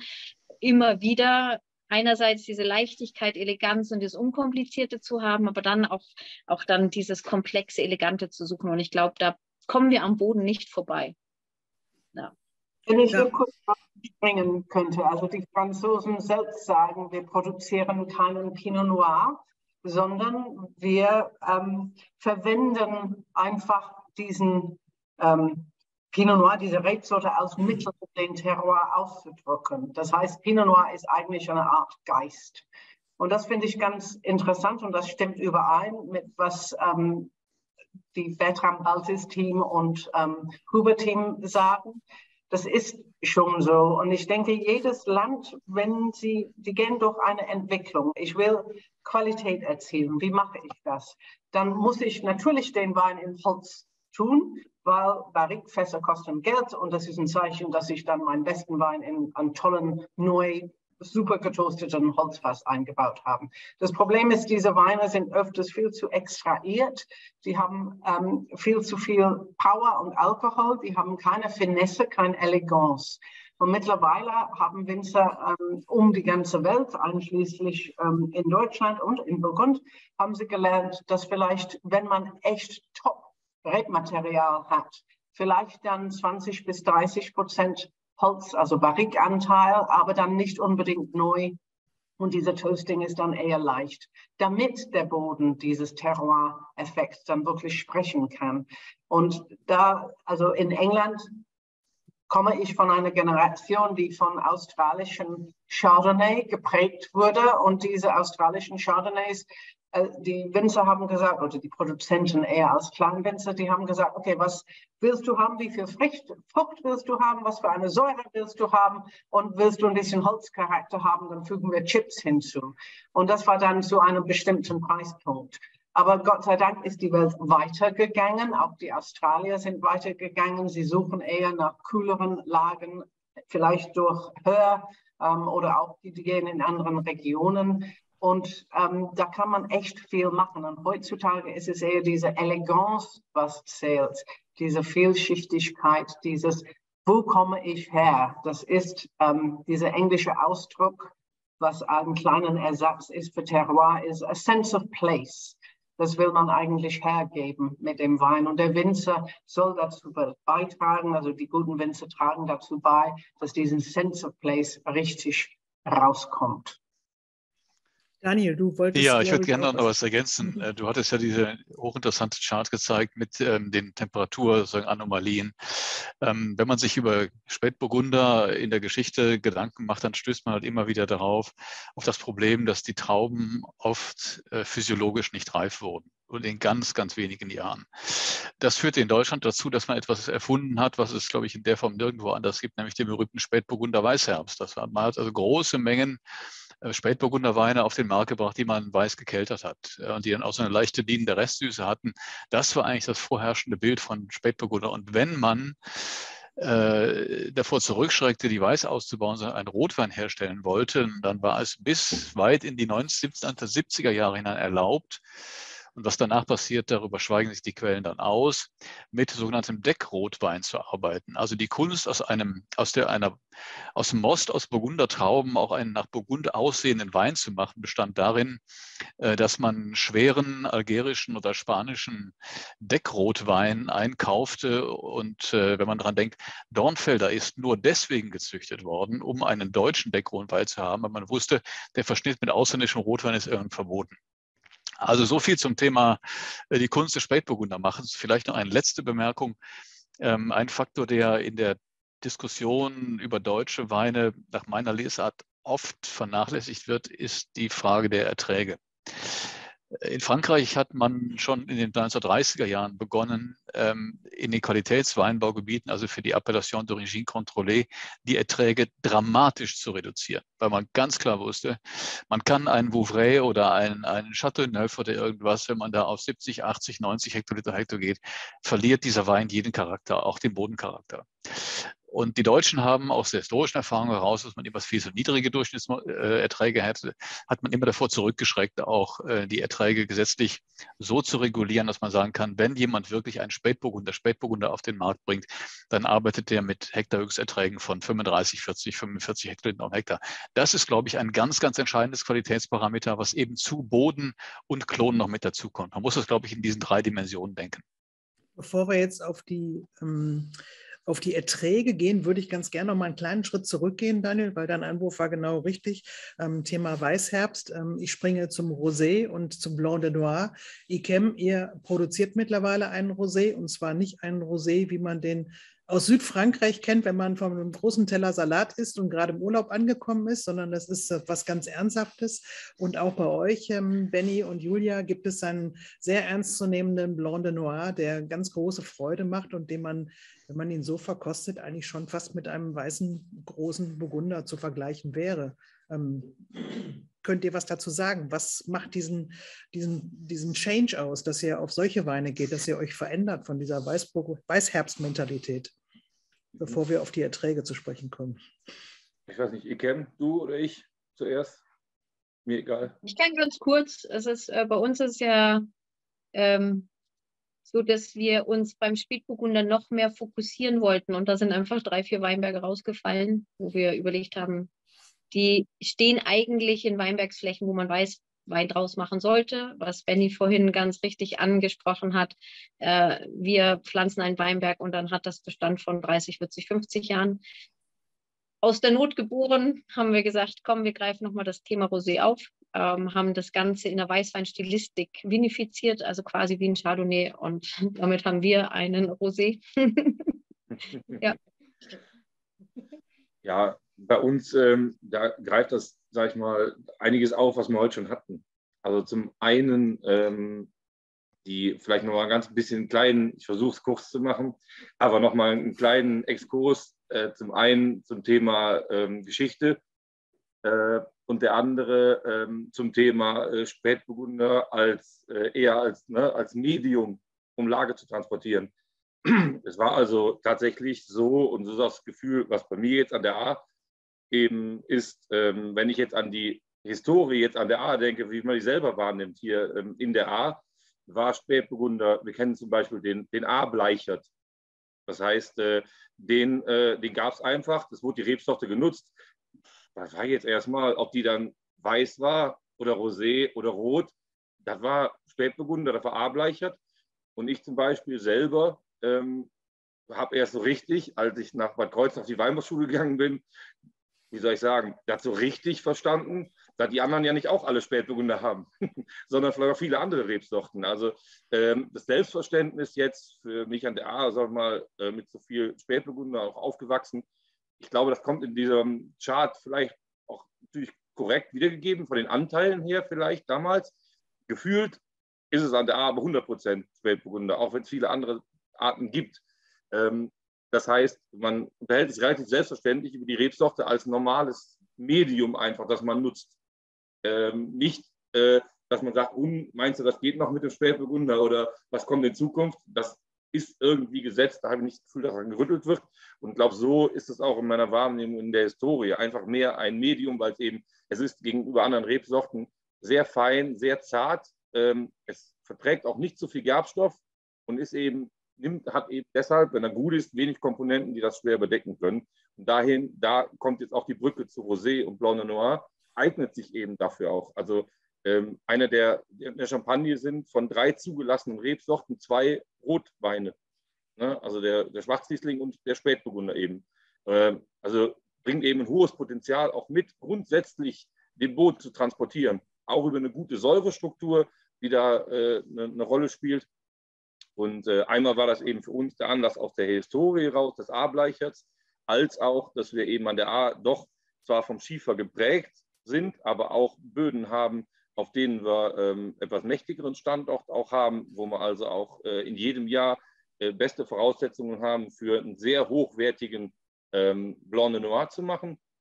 Und wie die Cam auch sagt, äh, man hat so viel mit Spätburgunder zu tun, man pflanzt viel, probiert viel aus, die Vorgänger schon. Also man ist irgendwann gesegnet mit vielen alten Reben. Also ich glaube, Betriebe, die nicht so einen hohen Anteil an Spätburgunder besitzen, die haben dann mal angefangen, mal gepflanzt und jetzt werden so ein paar Weinberge alt. Äh, sowohl bei der ICAM als auch bei uns. Wir haben ein Potpourri an alten Weinbergen und Lagen. Und ähm, äh, in manchen Jahren ist eben auch ähm, ein Blanc de Noir manchmal, manchmal auf bestimmten Böden sogar die bessere Wahl. Die, die Jahrgänge gibt es, das ist so. Und, äh, aber das ist immer ein Selbstverständnis von dem Burgunder als Medium und auch eine Selbstverständlichkeit, um das auszudrücken. Ähm, und weil er eben das so gut ausdrücken kann, große Champagner, ne, ähm, deren Grundweine zeigen das auch, ähm, ist für uns über die Jahre was gewachsen. Und ich versuche jetzt zum Ende zu kommen, aber ein Grund, warum es bei uns ein wichtiges Thema gekommen äh, worden ist, wir haben eben auch gehört, Historie, ähm, äh, Farbe hält nicht, wird zu schnell alt ne, und solche Geschichten. Ähm, was uns am Anfang gewundert hat, als wir mit Blanc de Noir begonnen haben, haben wir, was, ich glaube, also richtig groß und, und ernsthaft auch, wo wir es dann auch gefüllt haben als Grand Cru, ist 2010 gewesen. Und ähm, jetzt, äh, sagen wir mal 22, kosten das auch regelmäßig noch. Es war aber schon nach ein paar Jahren eigentlich feststellbar, dass die Weine oftmals besser dastanden als unsere roten, die wir auch nach dem Gedanken, ja, ne, war, Zeit hat verändert, aber auch soll noch was kräftiger sein. Und ne, wir dachten, muss auch richtig einen Rotwein machen und äh, vielleicht auch zu viel extrahiert hatten bei den Roten. Und der Blanc de Noir hat uns, die, ähm, hat uns gezeigt, dass eigentlich die Seele vom Burgunder gar nichts damit zu tun hat, dass das höchst reif ist, möglichst viel im Holz gelegen hat oder zu viel Gerbstoff hat. Und ähm, vielleicht nicht gut für uns jetzt, aber ich würde sogar behaupten, wir haben früher guten Blanc de Noir gemacht als äh, sehr guten Roten. Also weil wir haben gelernt, dass die Reduzierung beim Burgunder das ist seine Stärke. Die Eleganz, die Feinheit, äh, die, die, und nicht die Überextraktion versuchen, ein Rotwein zu sein wie andere Rebsorten. Dann pflanzt man besser die andere Rebsorte. Dann geht das auch fast von alleine. Aber beim Burgunder ist Feinheit Trumpf. Also es gibt einen schönen Spruch, und den halte ich mich immer, ist der feinste Wein auf dem Tisch ist der beste. Und das stimmt meistens beim Burgunder. Was, machen denn, was macht denn die Feinheit aus? Also ähm, die Säuren, die Phenole, die zarten ähm, Bitternoten, ähm, die Struktur? Ja, also äh, da kann ich nur Paul Fürst zitieren. Äh, ich dachte, Julia, schon mal manchmal immer ganz schlechtes Gewissen. Ich gehe eh schon nicht viel weg, aber immer wenn ich irgendwo bin und habe mit großartigen Winzern zu tun, dann wache ich morgens auf, habe immer einen Satz im Kopf. Und aus dem, von dem äh, profitiere ich dann immer. Und was, was ganz wichtig ist, hat der Paul Fürst gesagt, äh, Gerbstoff ist der Tod für jeden guten Burgunder. Und äh, man muss manche Sachen ein bisschen zuspitzen, ne? aber äh, es hat viele Jahre gedauert, das so nachzuvollziehen, ähm, wo das herkommt, konsequent umzusetzen, auch die Erkenntnis darüber zu erlangen. Ähm, eine große Verwechslung findet oft statt, wenn man sagt, ein Spätburgunder, der hat, hat so wenig Gerbstoff, weil er so eine dünne Schale hat. Grundsätzlich ist richtig, dass der absolut gesehen wenig Gerbstoff hat. Der hat aber noch viel weniger Farbe. Und wenn Gerbstoff und Farbe nicht in einem guten Verhältnis stehen, dann bleiben Gerbstoffe übrig, die hochfarbig werden. Also wir kennen es bei Weißwein, ne, sagen wir ganz extrem, ein Orange-Wein, aber die Vorstufen beim Riesling oft goldgelbe Farbe zum Beispiel. Weil ein Riesling hat gar keine Farbe und eine Phenolik durch zum Beispiel eine, sag ich mal, beanspruchende ähm, äh, Verarbeitung gibt nachher eine goldene Farbe. Also wir haben schon mal das erste Phänomen, also aus einem hellrot und gold entsteht Farbenlehre auf jeden Fall schon mal braun. So, das ist schon mal ein erster Grund, warum man sich damit zurückhalten sollte. Der zweite ist, dass diese Gerbstoffe auch noch einen anderen Effekt im, Weinberg, im Wein haben.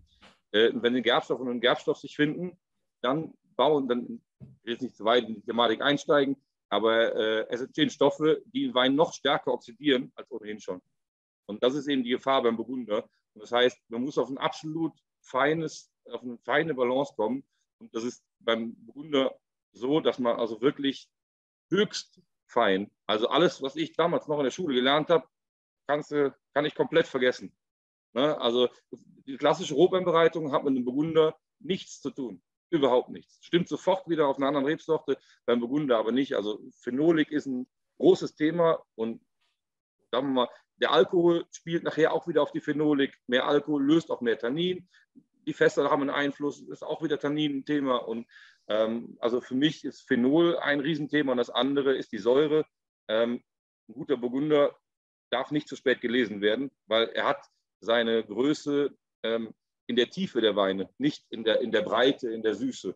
Und die Säure spielt zum einen eine große Rolle für die Lagerfähigkeit, als auch ähm, äh, bringt sie eine gute Balance zu der, zu der oft ähm, ausgeprägten Mineralik, weil, wie eben schon gesagt, ein guter Spätburgunder eben nur mit wenig Ertrag geht.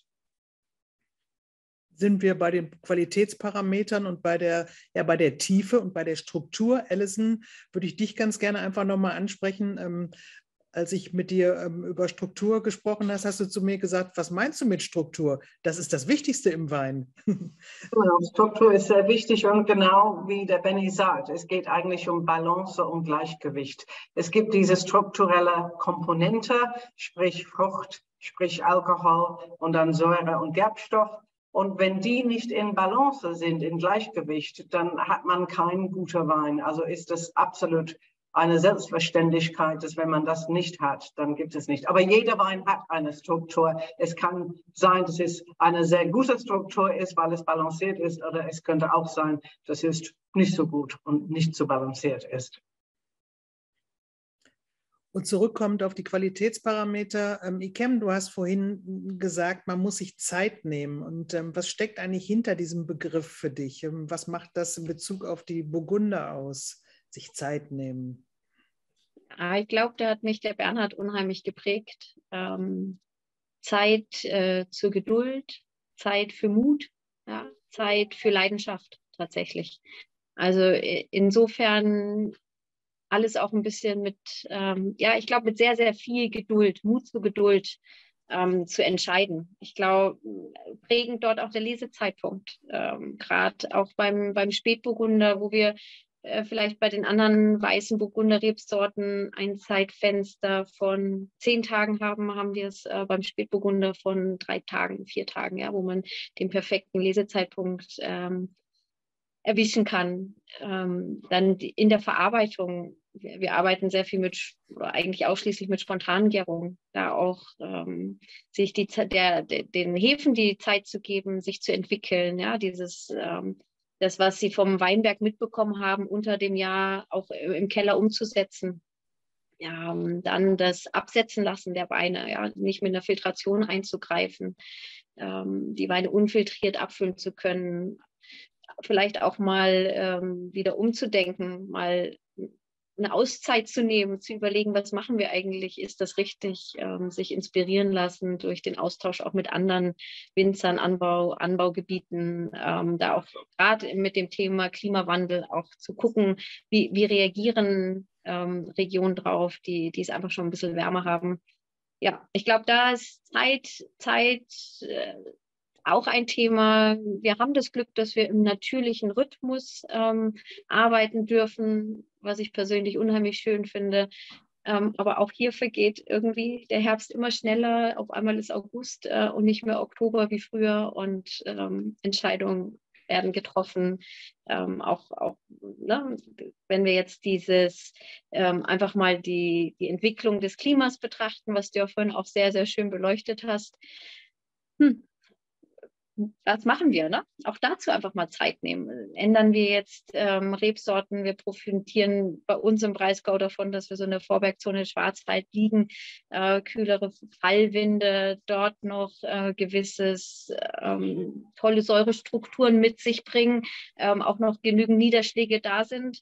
Aber was bringt die Zeit? Also ich glaube, das ist ein großes Thema und täglich wird es in Form von Entscheidungen im Weinberg und im Keller ähm, ja, werden wir damit konfrontiert und dürfen da reflektieren. Und was ganz, ganz toll ist, ich glaube, man merkt es auch, ist ähm, die Entwicklung der Generationen, wo man früher vielleicht noch ein bisschen sehr für sich das Rezept behalten hat, ähm, findet ein wahnsinnig toller Austausch statt. Also wir können in andere Anbaugebiete gehen für Praktika, wir können uns als Winzer untereinander austauschen. Geisenheim eine tolle Plattform, aber sicherlich alle Weinbau. Ähm, Ausbildungsstätten, ja, die, die, einzelnen Winzer, wo dann auch die junge Generation zusammenkommt. Ich glaube, ähm, auch dafür sollte Zeit sein, weil es eine sehr wertvolle Zeit ist. Was sagt ihr? Ähm, an der A zu der Thematik, ähm, die IKEM hat es gerade so schön gesprochen mit den Fallwinden, aber an der A habt ihr den Kessel. Es ist ein relativ warm. Die Wärme kommt, ähm, obwohl wir relativ weit nördlich sind, ganz schön zum Tragen. Und ähm, Julia und Benny, ähm, wie geht ihr dieses Thema an im Wingert?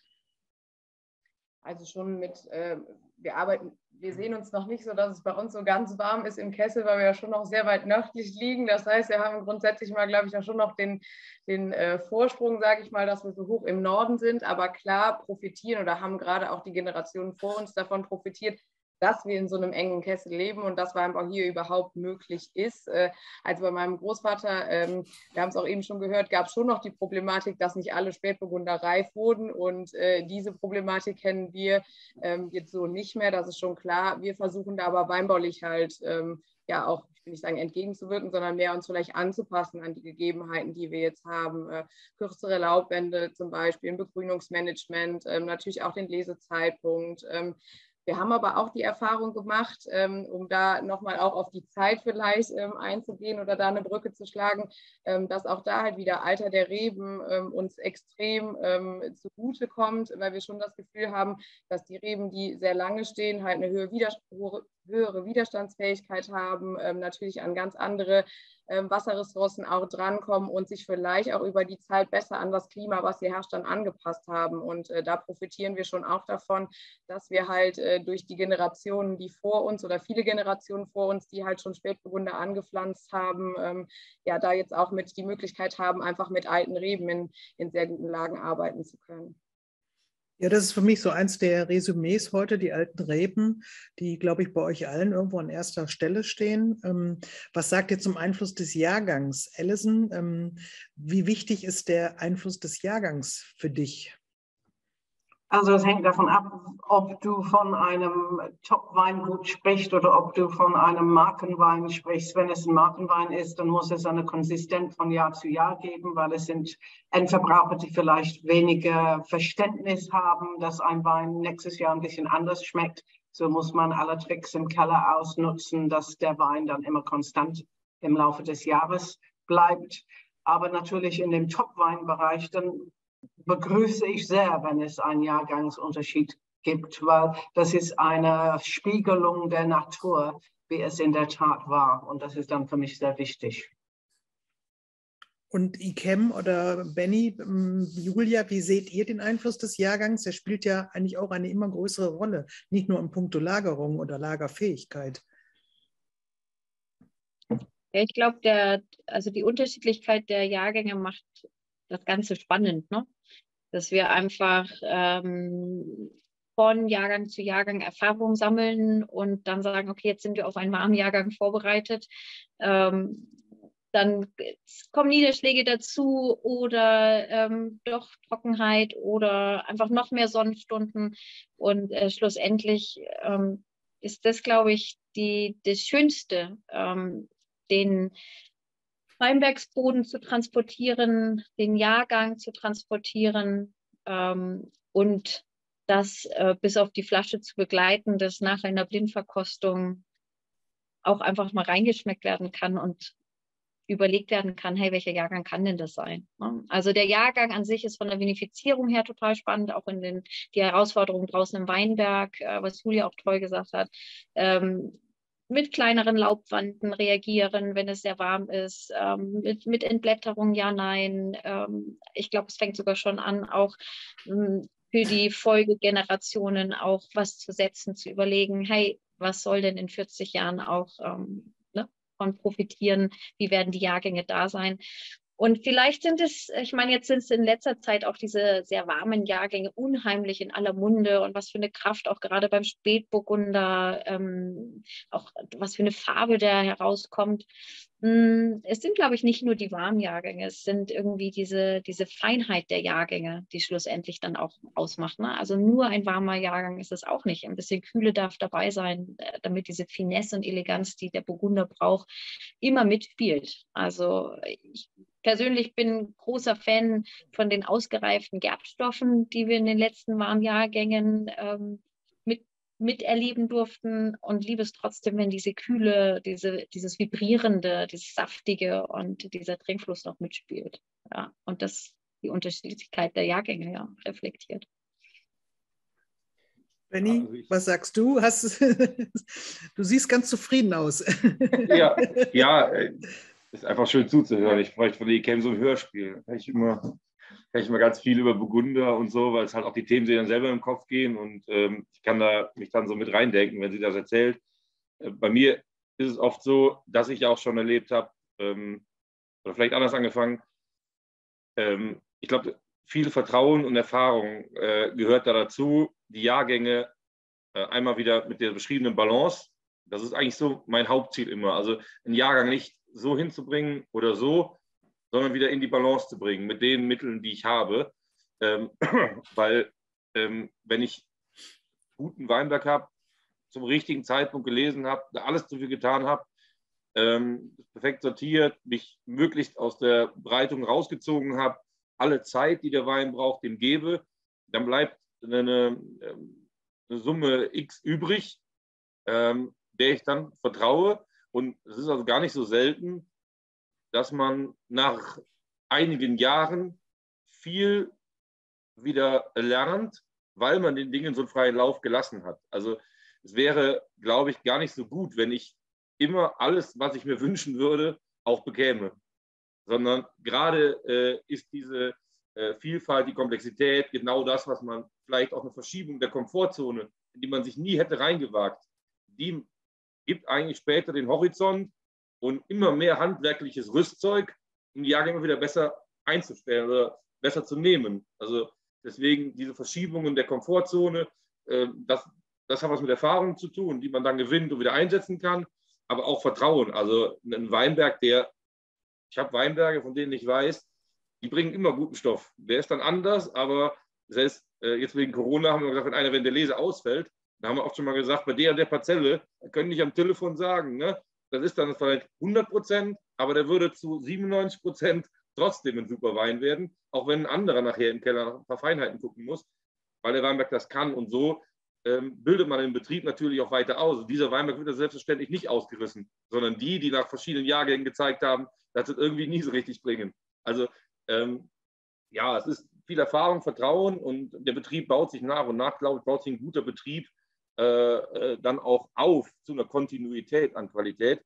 Aber äh, deswegen, ich mit, den, mit Spätburgunder jetzt nochmal als Sorte, ich finde halt, wir äh, fokussieren uns sehr auch auf den Burgunder, weil wir bei dem eine Bandbreite finden, also wo mir auch gar keine Rebsorte fehlt, mir persönlich jetzt einfach, ja.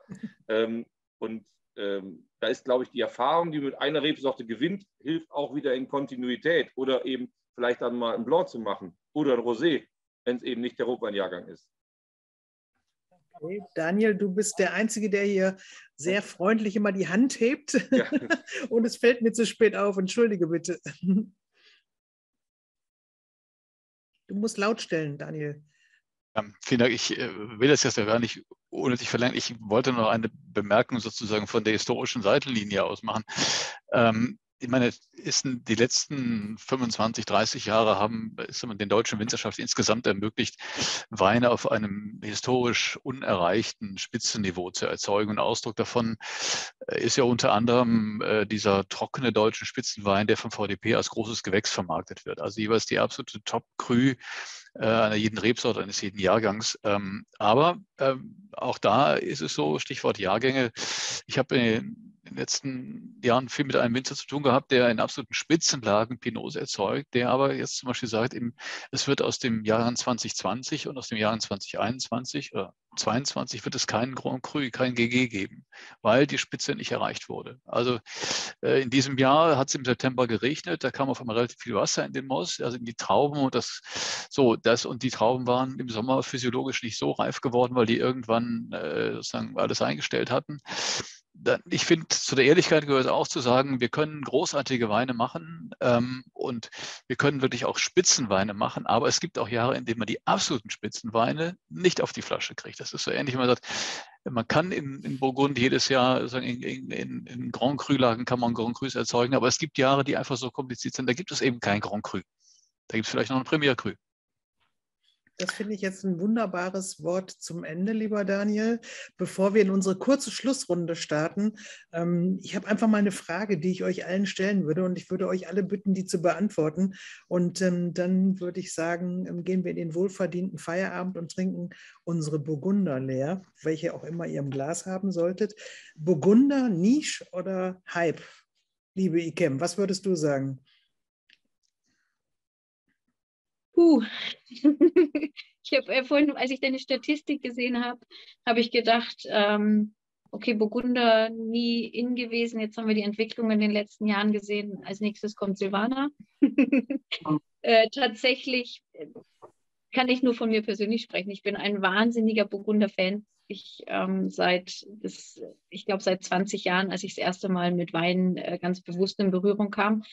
Und ähm, ich glaube sogar, dass wir Richtung Hype gehen. Wir hatten diese Zeit mit Anything But Chardonnay, ja, wo, wo Chardonnay eigentlich schon auf dem absterbenden Ast war. Und wenn wir jetzt sehen, ähm, mit welcher Feinheit international ähm, Chardonnay definiert wird oder die weißen Burgunder, ja, ich denke auch an, liebe zum Beispiel die Grauburgunder vom, vom Salbei, vom Vulkan, ähm, aber auch ja, wenn ich dann an die A schaue, wie der Spätburgunder sich da entwickelt, mit welcher Feinheit, welcher Eleganz, welcher Finesse, ist es für mich persönlich auf jeden Fall eine tolle Richtung. Vielen Dank. Alison, was meinst du? Nische oder Hype?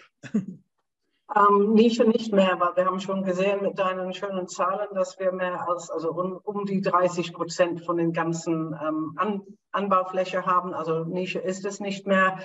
Und Hype ja, nicht unbedingt. Also eigentlich weder noch. Ich sehe Burgunder mit unheimlich viel Potenzial immer noch in Deutschland. Es werden spannungsvollere Weine erzeugt, die wirklich ähm, diesen Back to the Roots zeigen, wie wirklich ähm, der Boden und ja, alles, was damit zu tun hat, mit, mit dieser ähm, Terror zu tun hat, und ich denke, deutsche Burgundersorten können ohne irgendwelche Minderwertigkeitskomplexe auf die Weltbühne stehen. Absolut ohne Probleme. Also ich bin ein großer Fan, probiere so viel wie möglich und äh, denke, dass es auf jeden Fall immer noch Potenzial gibt.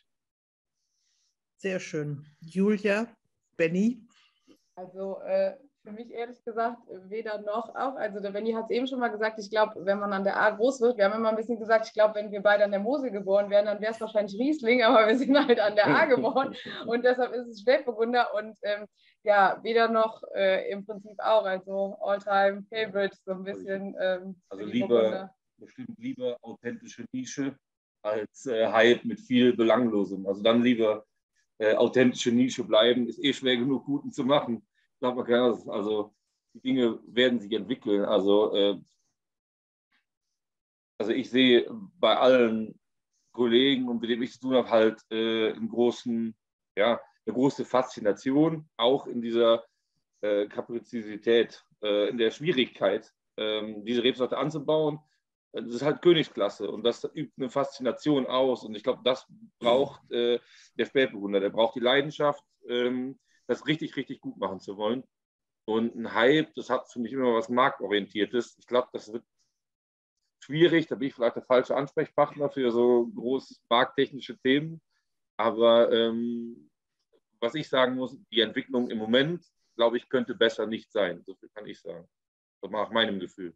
Sehr schönes Schlusswort, Benny. Super. Daniel? Ich würde es ein bisschen differenzieren. Also ich bin gegenüber dem Grauburgunder äh, etwas zurückhaltend. Ich glaube, da ist so ein Hype-Moment drin. Das ist so eine, eine, Ableitung äh, von Pinot Grigio und dann hat man auch Grauburgunder. Das ist so ein, ein Wein, der zu sehr vielem passt. Aber ähm, ja, sagen wir so, ich muss gestehen, ich habe in meinem Keller, äh, glaube ich, äh, nicht mal zehn Flaschen Grauburgunder. Weißburgunder finde ich wahnsinnig spannend. Da ist, glaube ich, noch sehr, sehr viel Luft nach oben, ähm, um den auch als, als eine Weißweinrebsorte zu profilieren äh, gegenüber dem Riesling. Ich finde es schade, dass es auf Kosten des Silvaners geht, äh, ICAM, weil ich auch finde, dass das Potenzial des Silvaners ist in Deutschland längst nicht ausgeschöpft. Die tapferen Franken halten immer daran fest und machen ein bisschen Weltklasse Silvaner. Ja, und mit ähm, dem Spätburgunder, also wenn man sich überlegt, dass die ersten Winzer in Deutschland Anfang der 80er Jahre begonnen haben, überhaupt mit dem kleinen Holzfass zu experimentieren und versucht haben, ähm, sozusagen Burgunder auch eine solche balancierte Struktur zu geben. Das sind 40 Jahre in der Geschichte des Weinbaus. Das ist fast ein, so ein Wimpernschlag. Und ich glaube, dass da noch sehr, sehr viel äh, Potenzial ist, was noch nicht gehoben ist. Aber heute, das muss man eben auch sehen, in diesen 40 Jahren ist in Deutschland wirklich eine, eine Rotweinrevolution vonstatten gegangen, vor allem mit dem äh, Pinot Noir. Aber das gilt, äh, das muss ich auch noch sagen, auch für den Lemberger. Vielen, vielen Dank an euch alle, dass ihr euch die Zeit genommen habt. Ich fand es großartig und ich habe jetzt richtig Lust auf ein Spätburgunder-Seminar. Am liebsten würde ich gleich mit euch weitermachen. Schauen wir mal, wie es geht. Und ähm, ja, dank euch allen ganz herzlich und einen schönen Abend in die Runde. Tschüss. Ja, vielen, vielen, vielen Dank an alle. Moment, Moment, Moment, Moment, Moment, Moment. Noch nicht abwinken, noch nicht abwinken. Sekunde noch, Sekunde noch. Also erstmal tausend Dank an, an alle heute Abend und ich muss auch eigentlich einmal ähm, eine Entschuldigung an die Zuschauer schicken, dass heute die Fragen tatsächlich etwas zu kurz gekommen sind. Aber das Programm war so voll, das ist einfach und so spannend, dass ähm, wir die Fragen jetzt, die jetzt noch offen sind, äh, notiert haben und werden das in den nächsten Folgen ähm, definitiv versuchen zu beantworten. Ähm, sehr spannend ist, dass wir eigentlich ja als Corona-Projekt gestartet sind und mittlerweile wirklich zu einer festen Einrichtung geworden sind. Und ähm, ich höre mich gerade doppelt, sorry, tut mir leid. Ähm, und wir mit mittlerweile im Durchschnitt zwischen 200 und 300 äh, Zuschauern ähm, agieren. Nicht mehr, nicht mehr in der ersten Folge 1000 Zuschauer haben, nichtsdestotrotz, wir sind total happy über die Zuschauerzahlen und das ist richtig, richtig klasse. Und deswegen, also ich habe es ja gerade eben schon gesagt, wir machen auf jeden Fall weiter in 2023. Und ähm, dementsprechend, Andreas, du kannst uns jetzt nochmal sagen, was uns erwartet in 2023. Genau, dem kann ich mich nur anschließen. Es ist wirklich äh, super, wie sich das entwickelt hat. Und vielen Dank, dass ihr uns alle immer die, die Treue haltet. Das hätten wir uns nicht gedacht, als wir angefangen haben. Es macht sehr viel Spaß. Wir machen weiter. Wir haben heute die Termine für 2023 äh, veröffentlicht. Ich habe jetzt ein paar Mal schon den Link reingestellt, jetzt ist er nochmal äh, drin. Ich sehe auch im Chat, es ist äh, durchaus ähm, das Verlangen nach einem Spätburgunder-Seminar, Christina. Äh, ich kann euch sagen, das machen wir und zwar im Oktober. Also im Oktober, vergangenen Jahr, wenn wir das Thema vertiefen. Dann geht es auch um Klone. Der Friedrich Wilhelm hatte Frage nach Klonen gestellt. Das wollten wir dann heute nicht noch ähm, durchgehen, aber nächstes Jahr machen wir das auf jeden Fall. Und ich äh, lese kurz vor, am 2. Februar geht es weiter. Und zwar machen wir das Thema Riesling, wächst ja in Deutschland auch, ähm, dass wir die Caro Maurer betreuen, Master of Wine. Äh, und am 2.3. das Thema, Daniel, äh, Thema Silvaner. Und das wird die Romana Echensberger betreuen, auch Master of Wine. Für die beiden Seminare könnt ihr euch schon anmelden. Ähm, Im April geht es dann weiter mit Süßwein, im Mai aromatische Rebsorten, Juni Boden und Terroir mit Götz Drewitz. Dann machen wir eine Sonder Sommerpause. Im September widmen wir uns nochmal dem Anbaugebiet A mit dem Alexander Kohn. Im Oktober dann, wie gesagt, Spätburgunder. Und ich hoffe, dass ich da einen Referenten gewinnen kann. Mal schauen. Das steht noch nicht ganz fest. Im November haben wir das Thema Wein und Speisen und im Dezember Sekt in, in, in Zusammenarbeit mit dem Deutschen Sektverband. Den Link habe ich euch gepostet. Und ich würde sagen, jetzt, äh, das war's für heute. Ich wünsche euch schöne Feiertage und ich bin gleich wieder da. Sehr gut. genau. Also, macht's gut. Vielen Dank von Vielen euch, Dank. Jungs. Total super. Tschüss. Tschüss, danke euch schön. Tschüss.